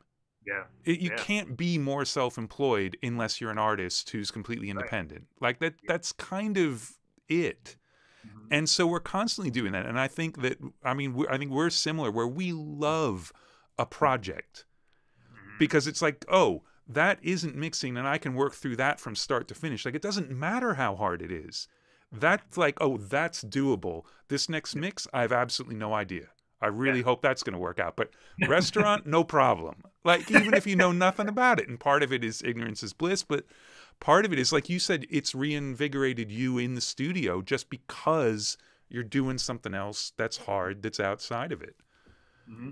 And again, going back to make sure that you know make sure you don't do things uh, for the money. Really, I mean, uh, you got to do it based out, out of passion. Passion is gonna get you through those fucking walls, man. You know, like not not not not the money, uh, the passion that you have for it. You're gonna have 20 motherfuckers that are gonna say no, and those are the walls that you got to get through. And only passion and the drive are gonna get you there. Yeah nothing else will. Like you've seen dollar signs and maybe that car, house, whatever drives you. Uh, it ain't gonna be enough to get you there because this, you know, I, I always say you got to get used to rejection more than than than praise, right? And uh, some people see it as rejection, other people see it as constructive criticism and uh, and I see it as constructive criticism when people said, "Fuck, dude, you're a studio rat. There's no way you can do this." And I'm like, "You're probably right, but you know that's constructive constructive criticism. So therefore, I'm gonna go and take some classes from Wharton on analytics so that I can run the restaurant like a digit like a tech company, and and I'm gonna." You know, do all the things that I need to do to hopefully put me in the best position to succeed. That's it. That's it. Whether it succeeds or not, what is success, right? To me, it's like not trying is not an option for me. You know that that that to me, then I then I would feel like a you Yeah. know like, but trying and and and and failing is admirable and and I can see how it's scary as shit, but but it's admirable and you gotta you gotta just try and do it and be smart about it, of course. You know, just Yeah. be be be strategic about it and surround yourself with people that that believe in what you're trying to build. You know, And also, Yeah. if if you don't chase money, you're never going to do something you're not passionate about. yeah, You know, and there's no way to know. It's like the like the conversation. I'm sure you've had it with bands throughout your entire career, where like, well, do you think like it would be more successful if we did this with this song, or like, who the fuck knows, man? Diane Warren and Dr. Luke are like the only two people I can think of who actually know how to write a song that will be popular. Nobody else on the planet knows how to do it really. Nobody. So don't Yeah. try. You do your best art all the time. And what you're doing with verse is as much art as what you're doing in the studio. thank you, man, thank you. Well, next time you're in LA, you gotta come. I absolutely will. I absolutely will. And I, I'm very aware of your time, and we're almost at two hours. So can we do a quick Q and A? Yeah. Let's get Mark do in here and, and do some Q and A. So we skipped over a bunch of records, but you know, whatever, whatever. Whatever. Uh, Yeah. So much fun, Manny. This has been great. So good, so good to you know revisit some of the records and talk about what we love the most and talking shit. yeah. We're gonna have to talk shit about Mark soon. I think he's. Oh, there. he Fire away. God, you're such a good-looking guy, brother. Oh. Yep. God Killing damn. me every time I come in here. Fucking you guys with all your hair. I'm sick Look of at it. that. you exfoliate. Mm. Oh man, you're the one with the fresh haircut. Come Oh, on. good. Yeah, Hey. that is that is nice. thank you. All got my right, hair we're talking once. about hair. That means it's Q and A time. Yeah. Yeah. It's the worst transition of all time. No, no. Um, so if you guys are on YouTube, we are taking questions over on Crowdcast. You can get to there by going to puremix.net, clicking on Andrew Talks to Awesome People, and you'll see the Crowdcast link. You can submit your question. Everybody upvotes each other's questions, and we start with the most voted question.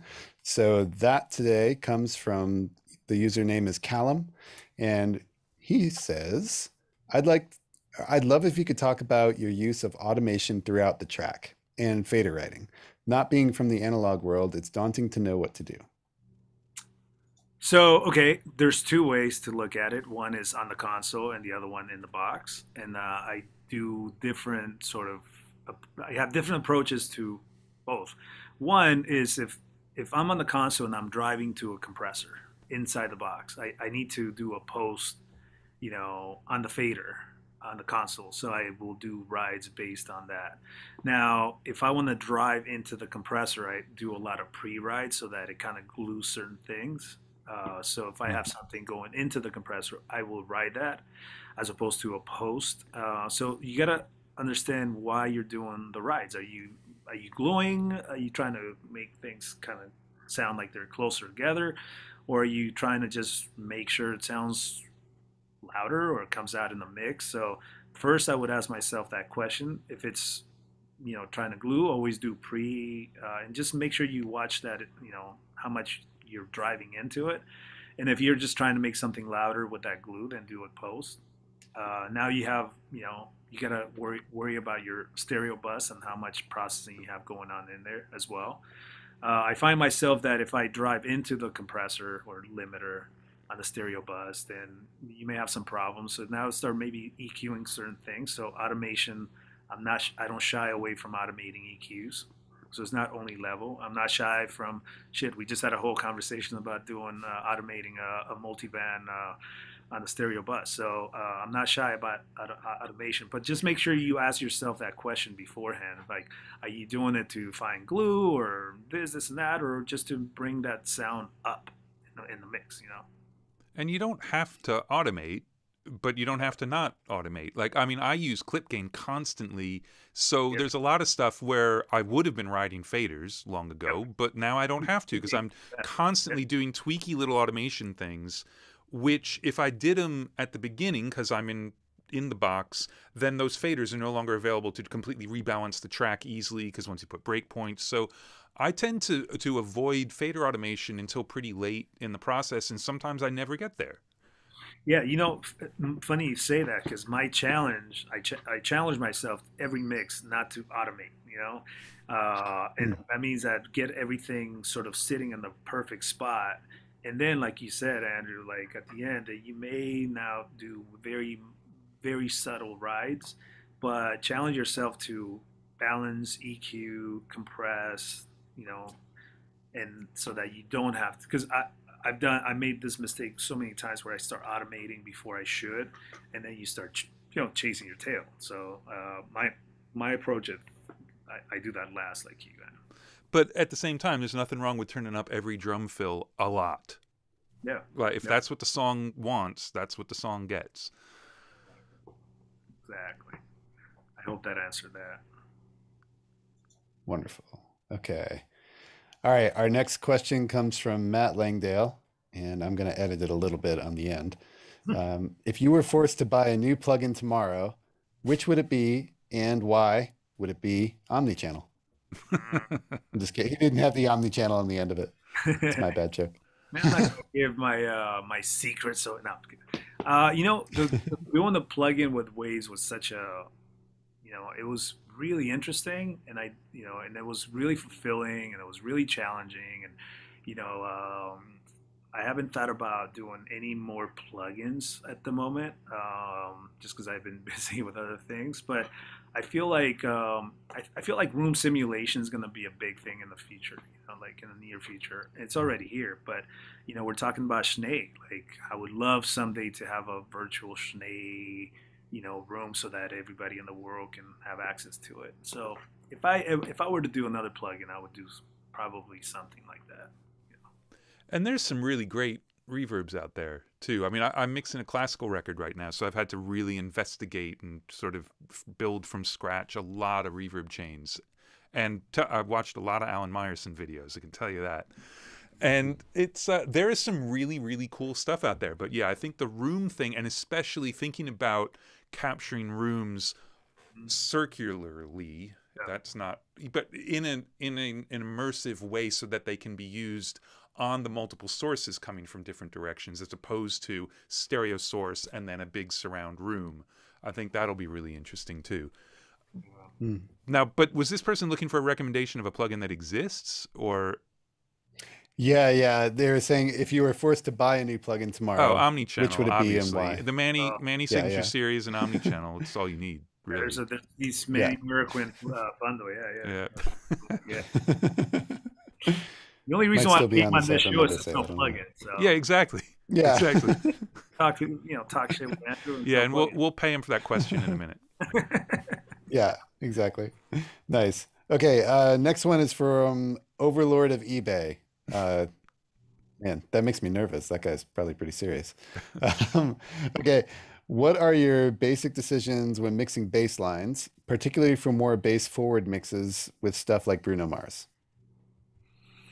Well, you know, it's to me the two of the hardest things to do is mix low end and vocals.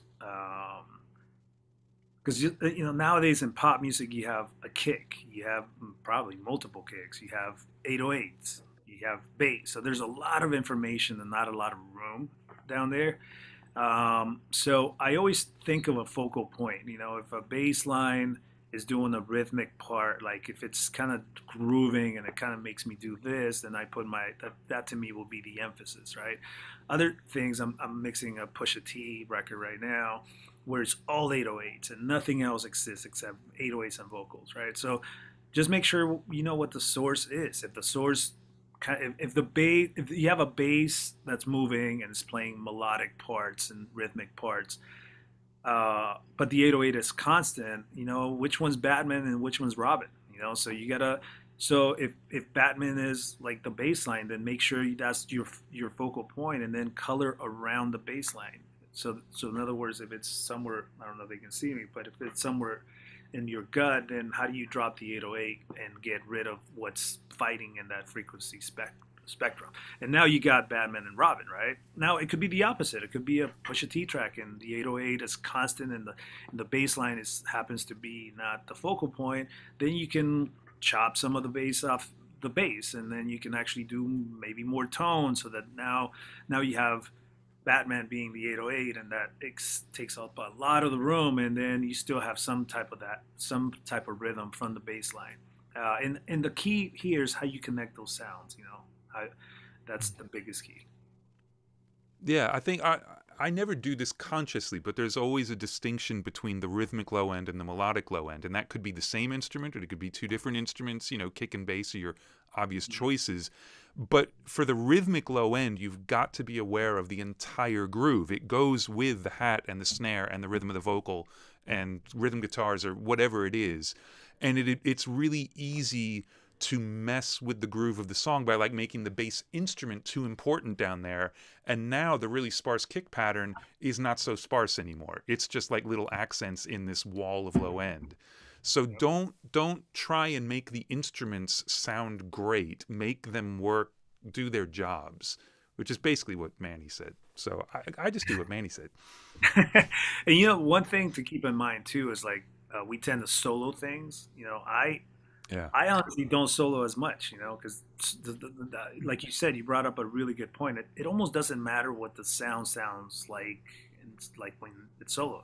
Does it work with, I say, the suit, the painting? Does it, you know? It, so so make sure that uh, you, solo things to see technically if it's there's something a wrong with it or there's something like maybe there's a buzz or a low pitch that's not that you got to take out but don't listen to the instrument you know at least i try not to solo things yeah i mean so you do just to investigate so you know what it is once you yeah. drop it back in yeah. but yeah, you just get the important stuff right. And this is like, I've had this conversation about the Atmos mixing too, because obviously you've got to match a stereo mix bus and mastering, which can be really, really difficult. But you don't have to match it on every instrument. You match it on the important stuff, and then the other stuff can sound like anything you want while you fly it around the room. It's fine. Right. 100%. Awesome. Okay, next question is from Joris, and he asks, "Hi Manny, how did you get that incredible reverb effect on Sunflower? Is it a delay reverb, a big pre-delay? Is there a sidechain, an automation? He's smiling. And what reverb did you use? I love that song. That's one. Songs, yeah. Honestly, it's one of my favorite favorite songs. Uh, you know, I gotta. I can't take all the credit for that one because Lou Bell, the producer, is one amazing, amazing producer and he plays around with a, a lot of reverbs. Uh, my job at that point is to kind of blend it with you know with Post and you know we're working on the new Post album right now. And my job is to make sure that exists in, in the you know that it cuts through some songs. And so i really take what he's done and i try to emphasize it or hide it or feature it on different sections of the song. But the reverb you know itself, I mean, he's done it, and he uses it, anything from Valhalla to to um, you know we things that we all use. You know, the, the Manny Marroquin reverb. You know, mostly uh, mostly that. Yeah, yeah, it's all that. so it's uh yeah. I mean, look, I, I love the Valhalla stuff. Uh, you know, he actually uses some Reverb uh, that he chains to a different verb. Uh, he does a lot of chaining. You know, a lot of like maybe two, three different reverbs uh, and we all do. Um, and then some of them, like a, I remember the D-Verb works really well in pop music because it yep. cuts through. Easy to hear. Hmm. Easy to hear, exactly. But you know, like a, a Bricasti wouldn't necessarily cut through in pop music, and I think we talked about it before. Yeah, adding uh, the distortion on the output of that exactly. to make it come up. Yeah.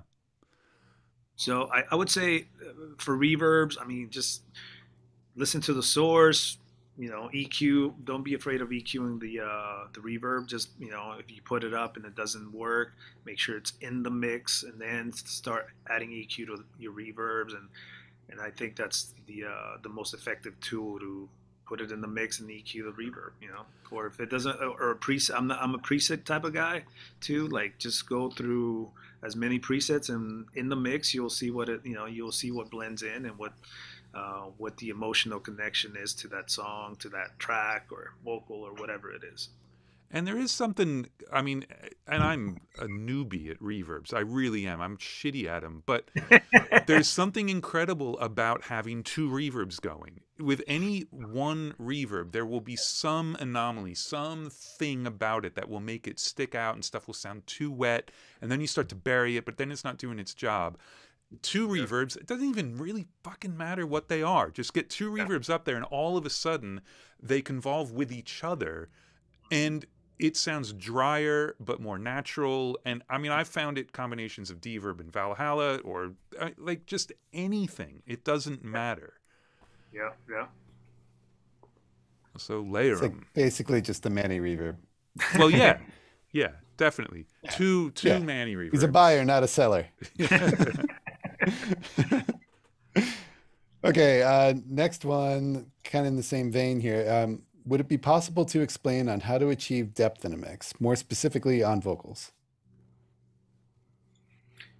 I mean yeah I mean, to add to it? I, look i uh, i mean the most obvious one would be a reverb right to uh, Mhm. if you if you put more reverb like it goes away, further away from you if you take it out then it comes towards you. So uh, how much depth do you want i guess? Um, you know i tend to like either putting a ton of reverb on things or putting just enough so that you hear the effect. So uh, I know you asked about depth, but what I try to do with width as well is like if you find a super tight reverb and then you EQ the, uh, you know, the tail end of it so that it becomes almost like a harmonizer. So now you put it in and it becomes wider, and then you put another reverb uh, that's a mono reverb. Just put everything up the middle, and then that's how you start creating a little bit of depth.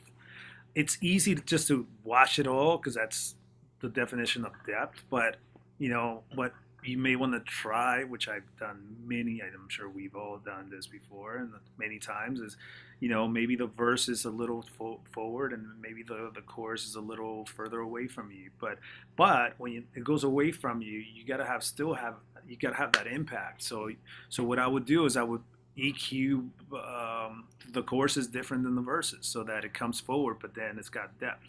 Um, so there's so many little things you can do to create emotion and depth and height and width, uh, dynamics, uh, which is the most important word in mixing, in my opinion, uh, because it doesn't have to be dynamics. It's not louder and softer. It's just dynamics to me is emotional, you know, different difference in emotion for each part of the song.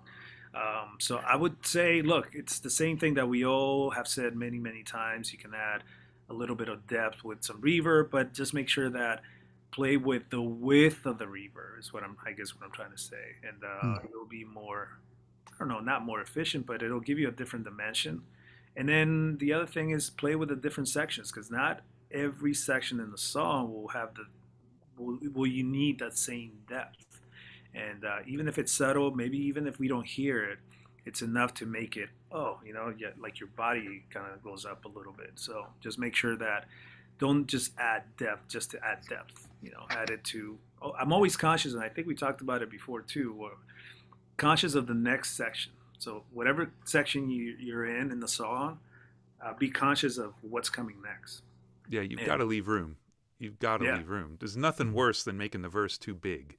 Yeah, and vice versa, right? If you're if you're if you're like you know here, you're conscious of what what what you're gonna do to do the opposite too. So, and that goes, you know, and that that makes it for subconsciously you wanting to hit re, re, re, repeat, you know, uh, and that's really what we're in the business of. Just hey, how do we make you hit repeat? Yeah, and having things happen for sections of the song, I mean, it's the goal would be to have ten things turn on in the chorus and nobody would notice. Right? Yeah. Yep. Yep. Like that's it. Just everything gets bigger. Mhm. But your body knows it. Your Yeah, body something exactly. Kind of feels something, you know, that a lift, you know. Uh, but that's it, yeah. To be Yeah. able to master And you don't. And the the perfect argument for not always wanting depth is the John Mayer story you told. right, exactly. That has zero depth on it except the body of his voice. Yep, yep. And and then you go even a step further. Uh, I feel like a lot of us are, you know, concerned about sonic things, right? But none of this matters unless the song tells you to do it, which sounds so cliche. Mm. But you know, going back to the John Mayer, I mean, the song needed that, and the song asked for that, and just make sure you pay attention to the song. It's funny we talk about tricks and things that we can do, but what if the song is not asking for that? So just make be mindful of that. Be mindful of oh the lyrics. You know, listen to the lyrics. Solo the this time solo the vocal from beginning to end and see what the song is really about. And that's gonna give you way more inspiration too, on you know, on what to do. Awesome, cool. Um, okay, next one is this is also from Javier. Uh, he asked the last question. I forgot to say his name. How hot is the signal going into the console when you mix? Fuck, you don't see the meters move. those like, are those are mix running indicators. Yeah, yeah, yeah. yeah. Oh, I, I smashed the mix running indicators. I'm like, yeah, I, I, think it's gonna fucking, you know, smoke is gonna come out of those meters. I hit it really, really, really hard. Yeah, that's the beauty about the SSL or you know these consoles. You can smash them. You know, you can you know you can abuse them and uh, it's rare that they you know that they break up it's rare so yeah to answer your question yeah. i'm at a 69 nice nice um so can you touch on why like briefly you know yeah to get a sound you know to get some personality out of it you know why do we use a pultec you know or uh, in LA2A mm-hmm. or you know in 1176, I, just to drive the signal to the point of color. The, the, the coloration is slightly different than what you would get say in the box. So uh, not better or worse, just different, just a different tone. You know, mm-hmm. I always say knowing your gear, uh, whether it's outboard or or plugins, just kind of know what that tone is going to give you and, and try to relate that to either a color, shape, whatever it is. It doesn't matter. But next time you need, you're looking for that tone, that shape, that color, you know what to pull up, you know, because there's just too much of too many fucking plugins nowadays, so you, you'll get lost. And and what you'll you'll do is you'll just put it based on the GUI because it looks kind of cool, or someone, or you read, or you heard on it, on, you heard something on Andrew Scheps' podcast, and you know. but uh, you know, you, you just gotta like know your tools, man. I rather I rather have ten very useful tools than a thousand somewhat semi. You know, like no hundred percent of ten. Yeah. Uh, and start mm. there. And every analog circuit, as you start to push signal through it, turns into a limiter with harmonic distortion, and they all have a different knee as you mm. approach mm. the voltage rails, and mm. they do. And digital stuff, unless you program it in there, does not do that. It has no knee. You go from exactly the same sounding fantastic until it's complete clipping. And obviously, no one leaves their digital stuff to do that anymore. But with floating point, you don't have to have that limit up top, whereas analog circuits have a voltage rail. You cannot output a voltage bigger than the voltage rail. Period. It's, in, it's physically impossible. So, what happens as you approach it in every analog circuit's just different. Yep, yep. And knowing that color is really important. What happens when you, you know, mm. how much you push, and, and that, that's yeah. another that's another tool. It's and not, that's again, always been around too. I mean, people think like, oh, it's the loudness wars. There's nothing to do with that. I mean, the Glyn Johns recording acoustic guitars with a Neve preamp was always you go one click too far, then you come back. Yep, yep, yep. awesome. Watching Perfect. him work okay. in the, the uh, new Beatles documentary, by the way, is just so ah, great. yeah haven't seen. And what yet. a badass wardrobe, man! You're gonna you're gonna change right. the way you dress when you watch you watch Glyn. I, I, need to. Shit. Yeah. Gonna have some fancy coats to go into verse with. Yeah. Okay. Next question is from Raymond, and he says, "I'd like to know a little bit more about Manny's process. What's the first thing you look for in a mix? Um, when do you start adding effects, mix bus processing?" and do you use a lot of parallel compression. Basically, everything. We want to know everything, man. so are elements mainly processed on their own, or are they grouped and processed together, etc.? Well, look, the, the, the, in today's world, having roughs, uh, a lot of those decisions have been made for you. You know, I, I can't say that I, you know, I strip everything and start from you know from the ground up. I n- never do that. You don't need to actually. So today, most of those decisions have been made for you. Uh, now the trick today into today's mixer, the key is, you know, it's like a chef. We have all these ingredients. How much, you know, how much salt, how, how much uh, acid, what, you, you know, how much of it do you put into this thing? And uh, my approach is just about emotion. I, you know, I listen to the rough. That's the first thing I do, and and I take. I used to take physical notes. Now I take mental notes on what I want to keep, what I want to do. So if you're looking at a mixer from, hey, what do you, how do you decide to put reverb on this, this, and that? That to me, in in my shoes, that's I don't think of it that way. I don't. I see it as an emotion, and I think that's the biggest, biggest, biggest mistake that a lot of people make. It's like, uh, how much reverb do you? How how much low end, and how much this, and you know the what? answer to everything is just matters. yes. None you of that matters. You know what matters is how does the song make you feel? And then Mm. my style, my approach is as needed. So I can't say that I'm conscious about how much top end, low end, reverb, kick, snare. I'm not conscious about any of that. I'm like, does it does the snare like killing pier is that piercing snare? Why is that why is it like that? Well, you know what? Maybe the production isn't that. Maybe it's a younger producer and and it needs a little bit of that Tabasco. And I'm gonna mind fuck it and give you a loud ass snare that all you're gonna think about is the snare and the vocal because the rest of the production isn't up to par maybe for the rest of the, with the rest of the songs on the album. So uh, there's a million different things that you got to think about, but I never go into it with, oh, I wonder how much reverb I'm going to put today. Just use as needed. The rough, if you're a mixer and you get roughs, listen to it and see what you can make better or or or not or keep from the rough. Uh, so all those all those decisions kind of have been made for you.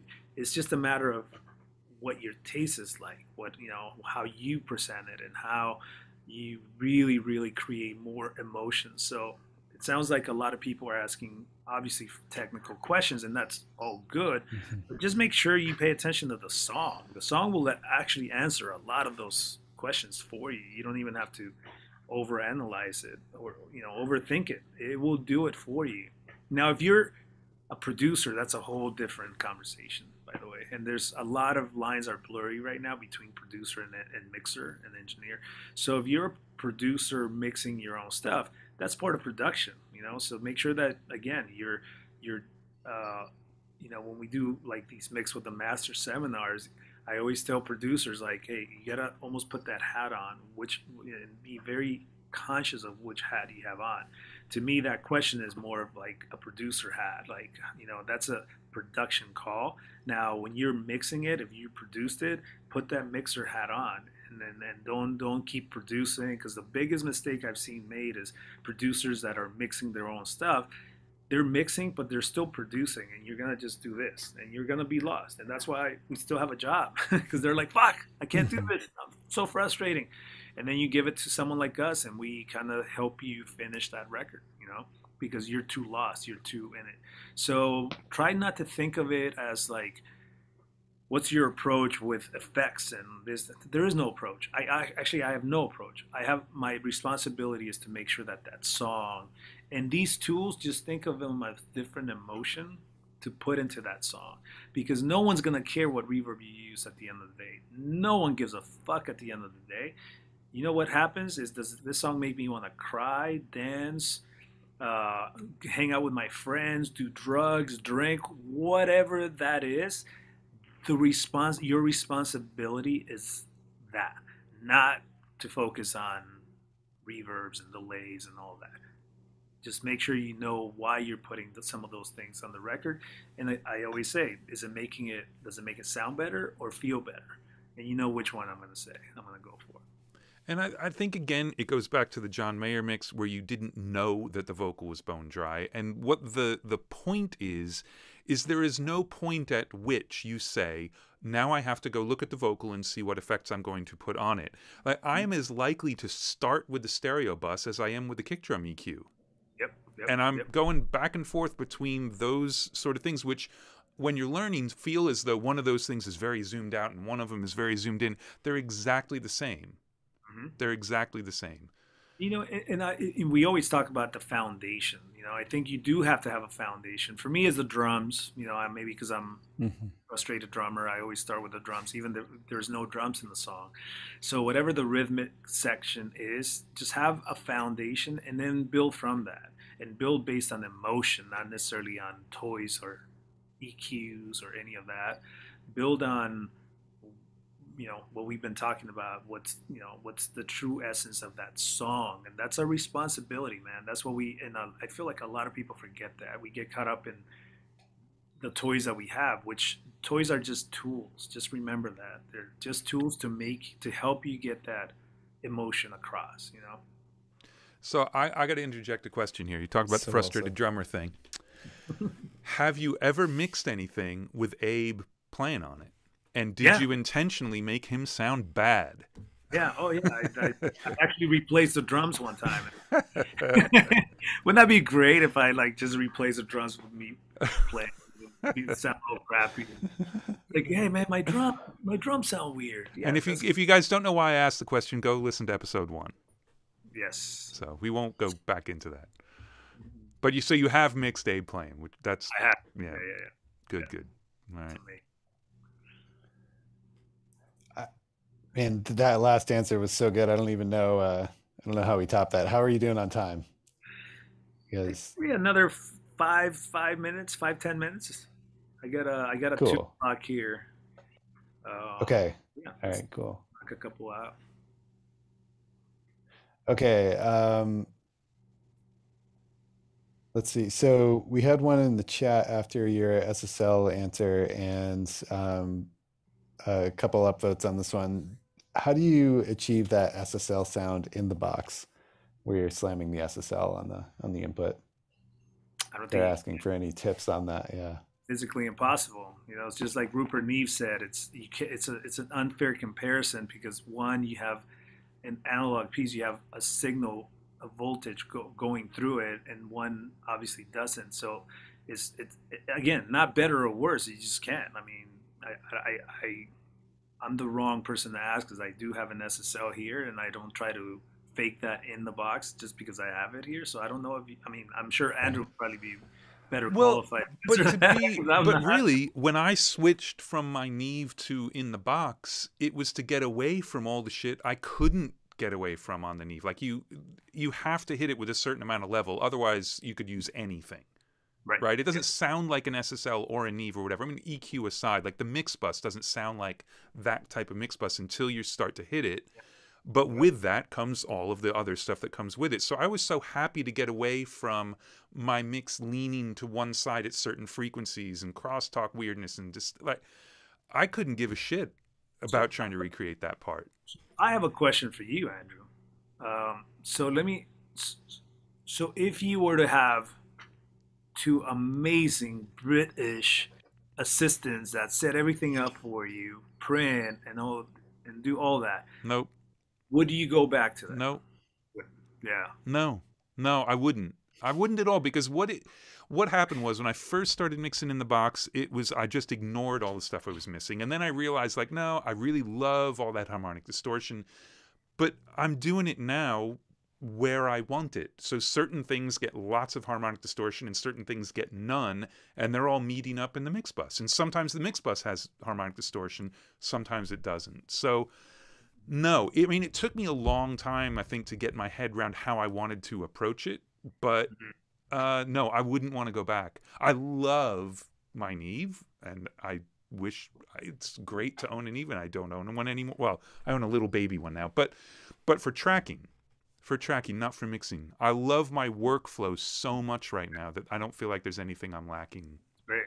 And I guess it goes down to what you're used to, right? I mean, it's you know, it's really what makes you comfortable and what you're you're used to. I, I still kind of perform per- perform a mix. You know, I, I still grab faders and and feel it and and uh, and I'm not and that's my workflow. I can't grab a mouse or even a, a little eight fader control. You know, I just you know, I just I'm just not used to that, so I don't think. I yeah can- it's all stuff you gotta it's that you gotta relearn some things and there's there are some records where i never turn my controllers on and there's some records they're on the whole time like i can't work on it without some faders and other Yeah. stuff i'm absolutely fine just using clip gain and drawing stuff in or used grabbing one fader with a mouse whatever That's, yeah, and that's what it is. It's just workflow, whatever you're used to. You know, I, I feel like when I'm on the desk, I can do 10 things in two seconds as opposed to doing 10 things in 10 seconds. And to me, that's like to get that out. Like I can EQ here and do levels here, and I can do, I can do so many things at once that I can't do in the box. And that's just not to say that I couldn't do it in the box. I just that's just what we're used to. It's whatever your workflow is like. Yeah. You know. Yeah, look, and it, it's like sitting down for people who know Logic, sitting down in front of Pro Tools, or the other way around. Like it makes you feel dumb when you Mhm. switch, and then you're not creative because you can't just respond. So yeah. any transition like that just takes time. Yeah. Yep. Yep. Yep. Exactly. exactly. But I have no doubt that you would be doing hellaciously great mixes in the box with no controller if that's what you had to do. You'd figure it out and you'd do it. Yeah. I think. I think so. Yeah. Yeah. I think. I think you uh, pivot and you. Uh, Yeah, look, because it is, as they say, evolve. it's the ears, not the gears. And Yeah. I was terrified to give up the gear. I Yeah. thought that's it. My career is over. Like I'll never work again. But I got to try this thing. And no, you know, now I think that it would be so. Then yeah. So then the, the question is: Is it different? Because I try to recall mixes on Neves, and it's it's impossible. Uh, but with an SSL, like if you were, because there is something I gotta say. The reason why I haven't, it would be so much more. It would be better for me to switch, right? I mean, just flow wise, and I mean for all the good reasons. But I just have it because of the emotion I get from that feeling that I was telling you to yeah. do. And if you Thank- don't have to get away from it, I mean, because you do, you've got assistants who can take the the pain away from that. that would be my question to a lot of mixers if they had the convenience and thankfully i i'm blessed enough to have the convenience of someone printing stems someone setting up mixes for me where i'm just creative i wonder how many people would say yes i would love to stay out of the box and maybe the box conversation doesn't exist if you had the ability i mean i wonder how many people would then go to you know because I, again i haven't been able to make that transition and i've tried but because of um, I, I feel like a lot of people have had to do it based on that because you know why are you going to pay an assistant to do it why are you going to Yeah. You know buy a, a whatever i don't know how much these are but why are you going to go through that ex- extra expense? But if you took all that aside and it just went for pure pure emotion i wonder how many people would say and i've asked a ton of people this question i, I wonder how many would say yeah i would i would do it if i if those that list of 30 things But it but it's all it's just about the workflow that you Yeah. enjoy doing too because like I was like I said I was terrified about doing it and I really was. Like it was a long oh, transition oh, I'm, and I'm sure i'm sure. Shit i'm, I'm terrified about changing monitors but know, the, like well yeah, but shitty ns10s but the epiphany for me was I was going I'm, I told the story before but I was going to Chad Blake's house to have lunch with Debbie and I had all these questions I wanted to ask him like how do you doing this how are you doing this how are you doing this because he'd been in the box for years already Right. like 5 years at least fully in the box had already won a best engineered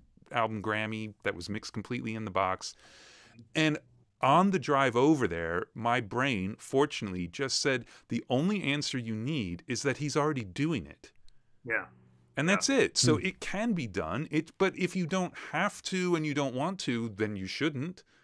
Like Yeah. you know, there's no It- reason goes you have to do it. Yeah, it goes back to workflow. I think that if anybody, because we get that asked, I mean, I get it every time, you know, like in the box or out of the box. You know, it's like the most the f- most common asked question. Yeah. But if you're going Uh, to tell me that like sonically there is something that's impossible to achieve without analog circuits, like No. well yeah, there might be something specific that you wouldn't be able to recreate. But Yep. I don't believe for a second that a good mixer couldn't do a good mix mm. given any tools absolutely mm, once Yeah. they know enough to be creative with the tools. Agreed. Agreed. A lot of it's what you've what you're both saying too about workflow. I mean, it's it's so ingrained in your subconscious once you've learned your workflow like that. Like you're not thinking about how to operate in SSL. Your hands are just doing it, and you're thinking Yeah. about the song. And a, Yeah. and a big part for me, I've got to say, in the last two years, I've gotten much more creative in the box with SoundFlow because I'm automating stuff that makes me be able to do 10 things in 25 seconds, let's say, Yeah, yeah. instead of 10 seconds. But so many of the pain points of having to do it on the screen instead of just grabbing shit have Yeah. been taken away. And that's huge.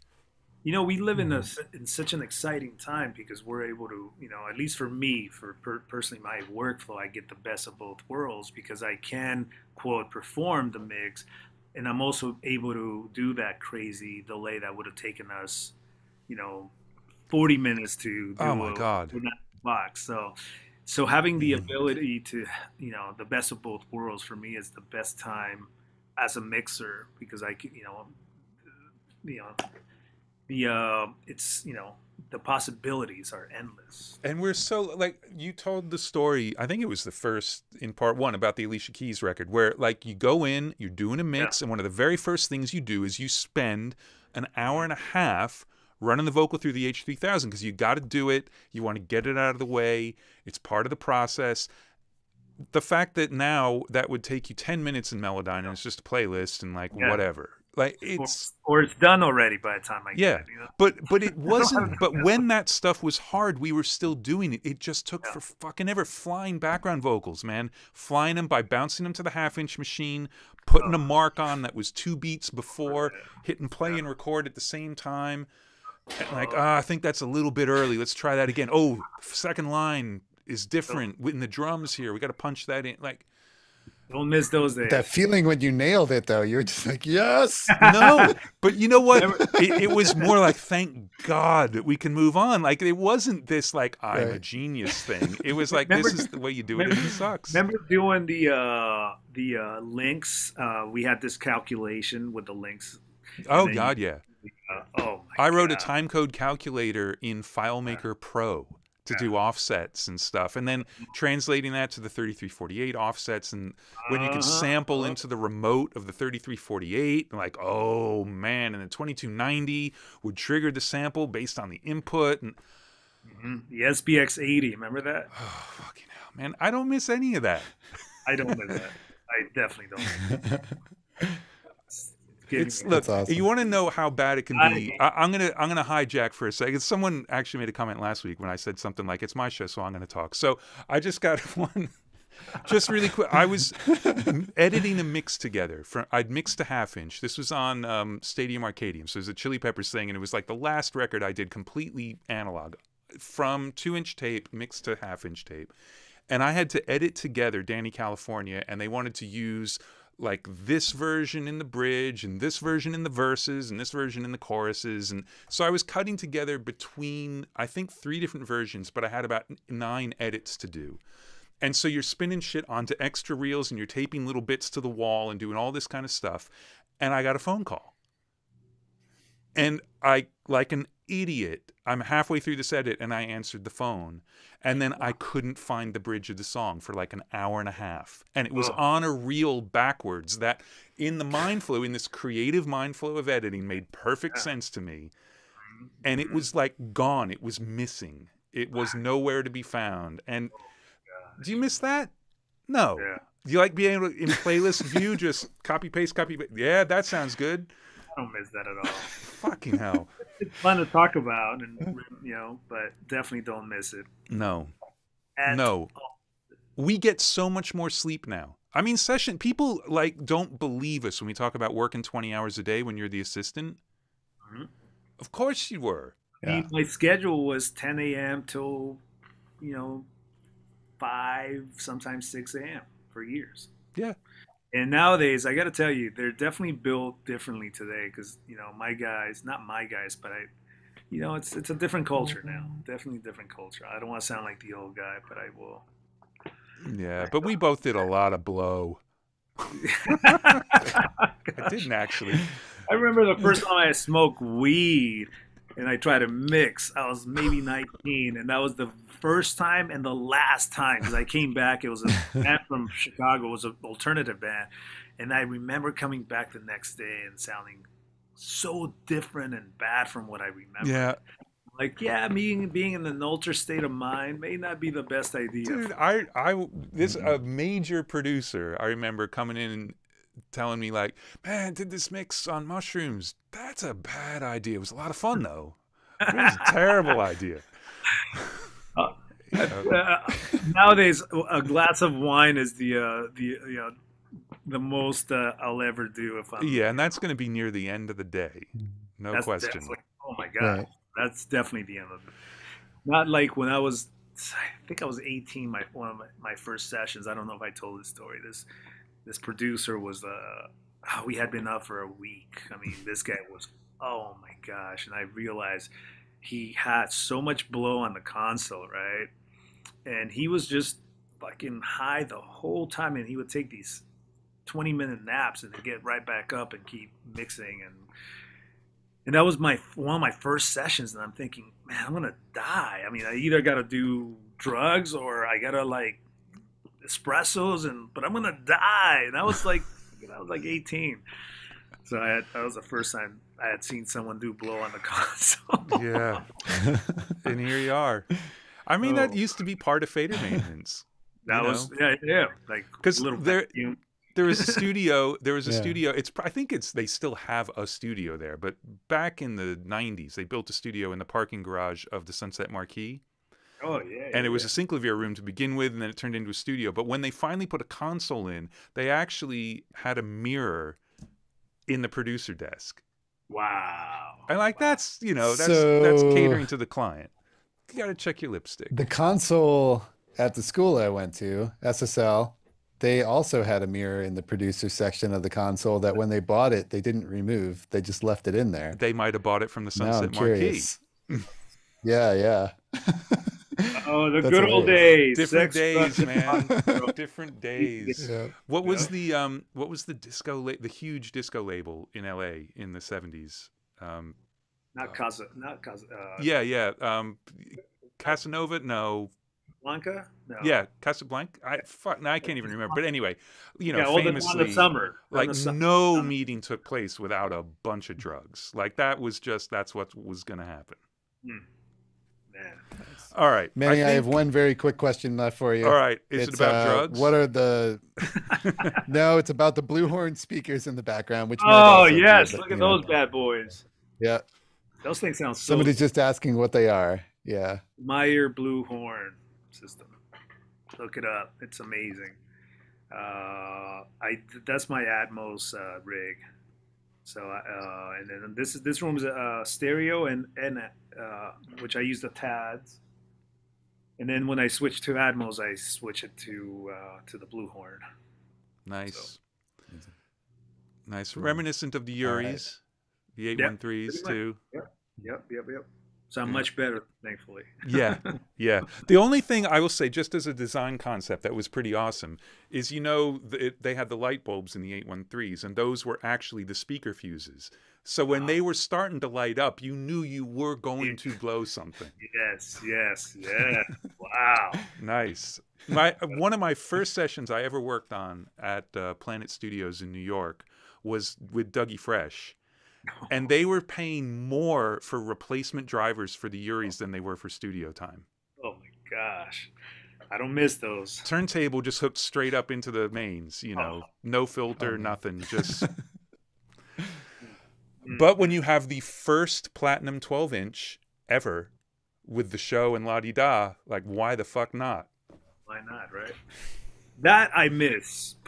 Being, you know, not the technical things of it, but just the, uh, you know, it was a lot of access back then. a lot of access. Yeah. Uh, Record Plant days. I mean, uh, Hit Factory days in New York, and you know, everything was just a lot of every. You know, Yeah, back when the industry was was not- printing money. Yep, yep. So, Printing money. Well, on that note, I think I think we've reached the the end.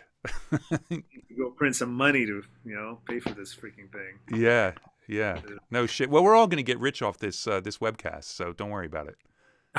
this one, I, uh, you know, it's probably the three people that are asking the same the same questions. Like, who wants to hear Manny talk? And that's all the question. It was it was actually me. I, I was putting out the the whole. No, no, no, man. The people. It was Not me texting questions like, "Oh, what would I want to ask myself so that it looks like people are listening." No, man. The people want to hear from Manny. The Yeah. people do. Absolutely. So Well, it's always a pleasure, man. This is amazing. I, love, love talking and shooting the shit with you. And excellent, man. It's been great. It's great to catch up. It's a little added bonus for me. Oh man, and uh, enjoy the holidays. I um, and I wish I was going up north, but next time I'm in that you know part of the world, I got to come see you, and vice versa. When you're out here, you got to come. see Yeah, me. yeah. It's long overdue. I was actually starting to think about getting a trip together to see my dad and then get over to LA, but Omicron, baby. Yeah. Oh man.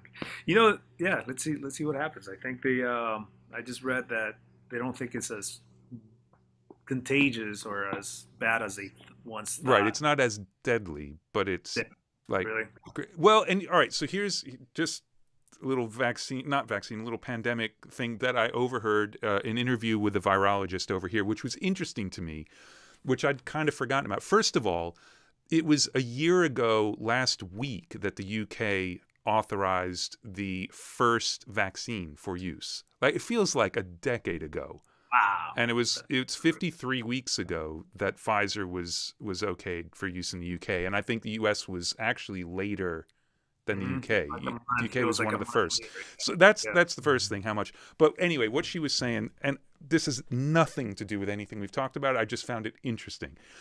We got the Delta variant, which has been the thing that's been just destroying us for the last four months, five months.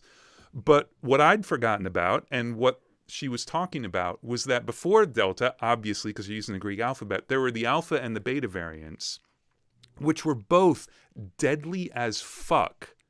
Like they didn't care about vaccines and the, the hospitalization and death rates were very very high. But because the delta variant which wasn't nearly as deadly was better at spreading it wiped out the alpha and the beta so like the best news in the world would be if it turns out that omicron is 10 times more transmissible than delta which it seems like it might be but isn't as deadly it will wipe out the delta variant eventually So crazy. so that's what we got to hope for is like uh-huh. crazy transmissible ones that don't mess you up as much.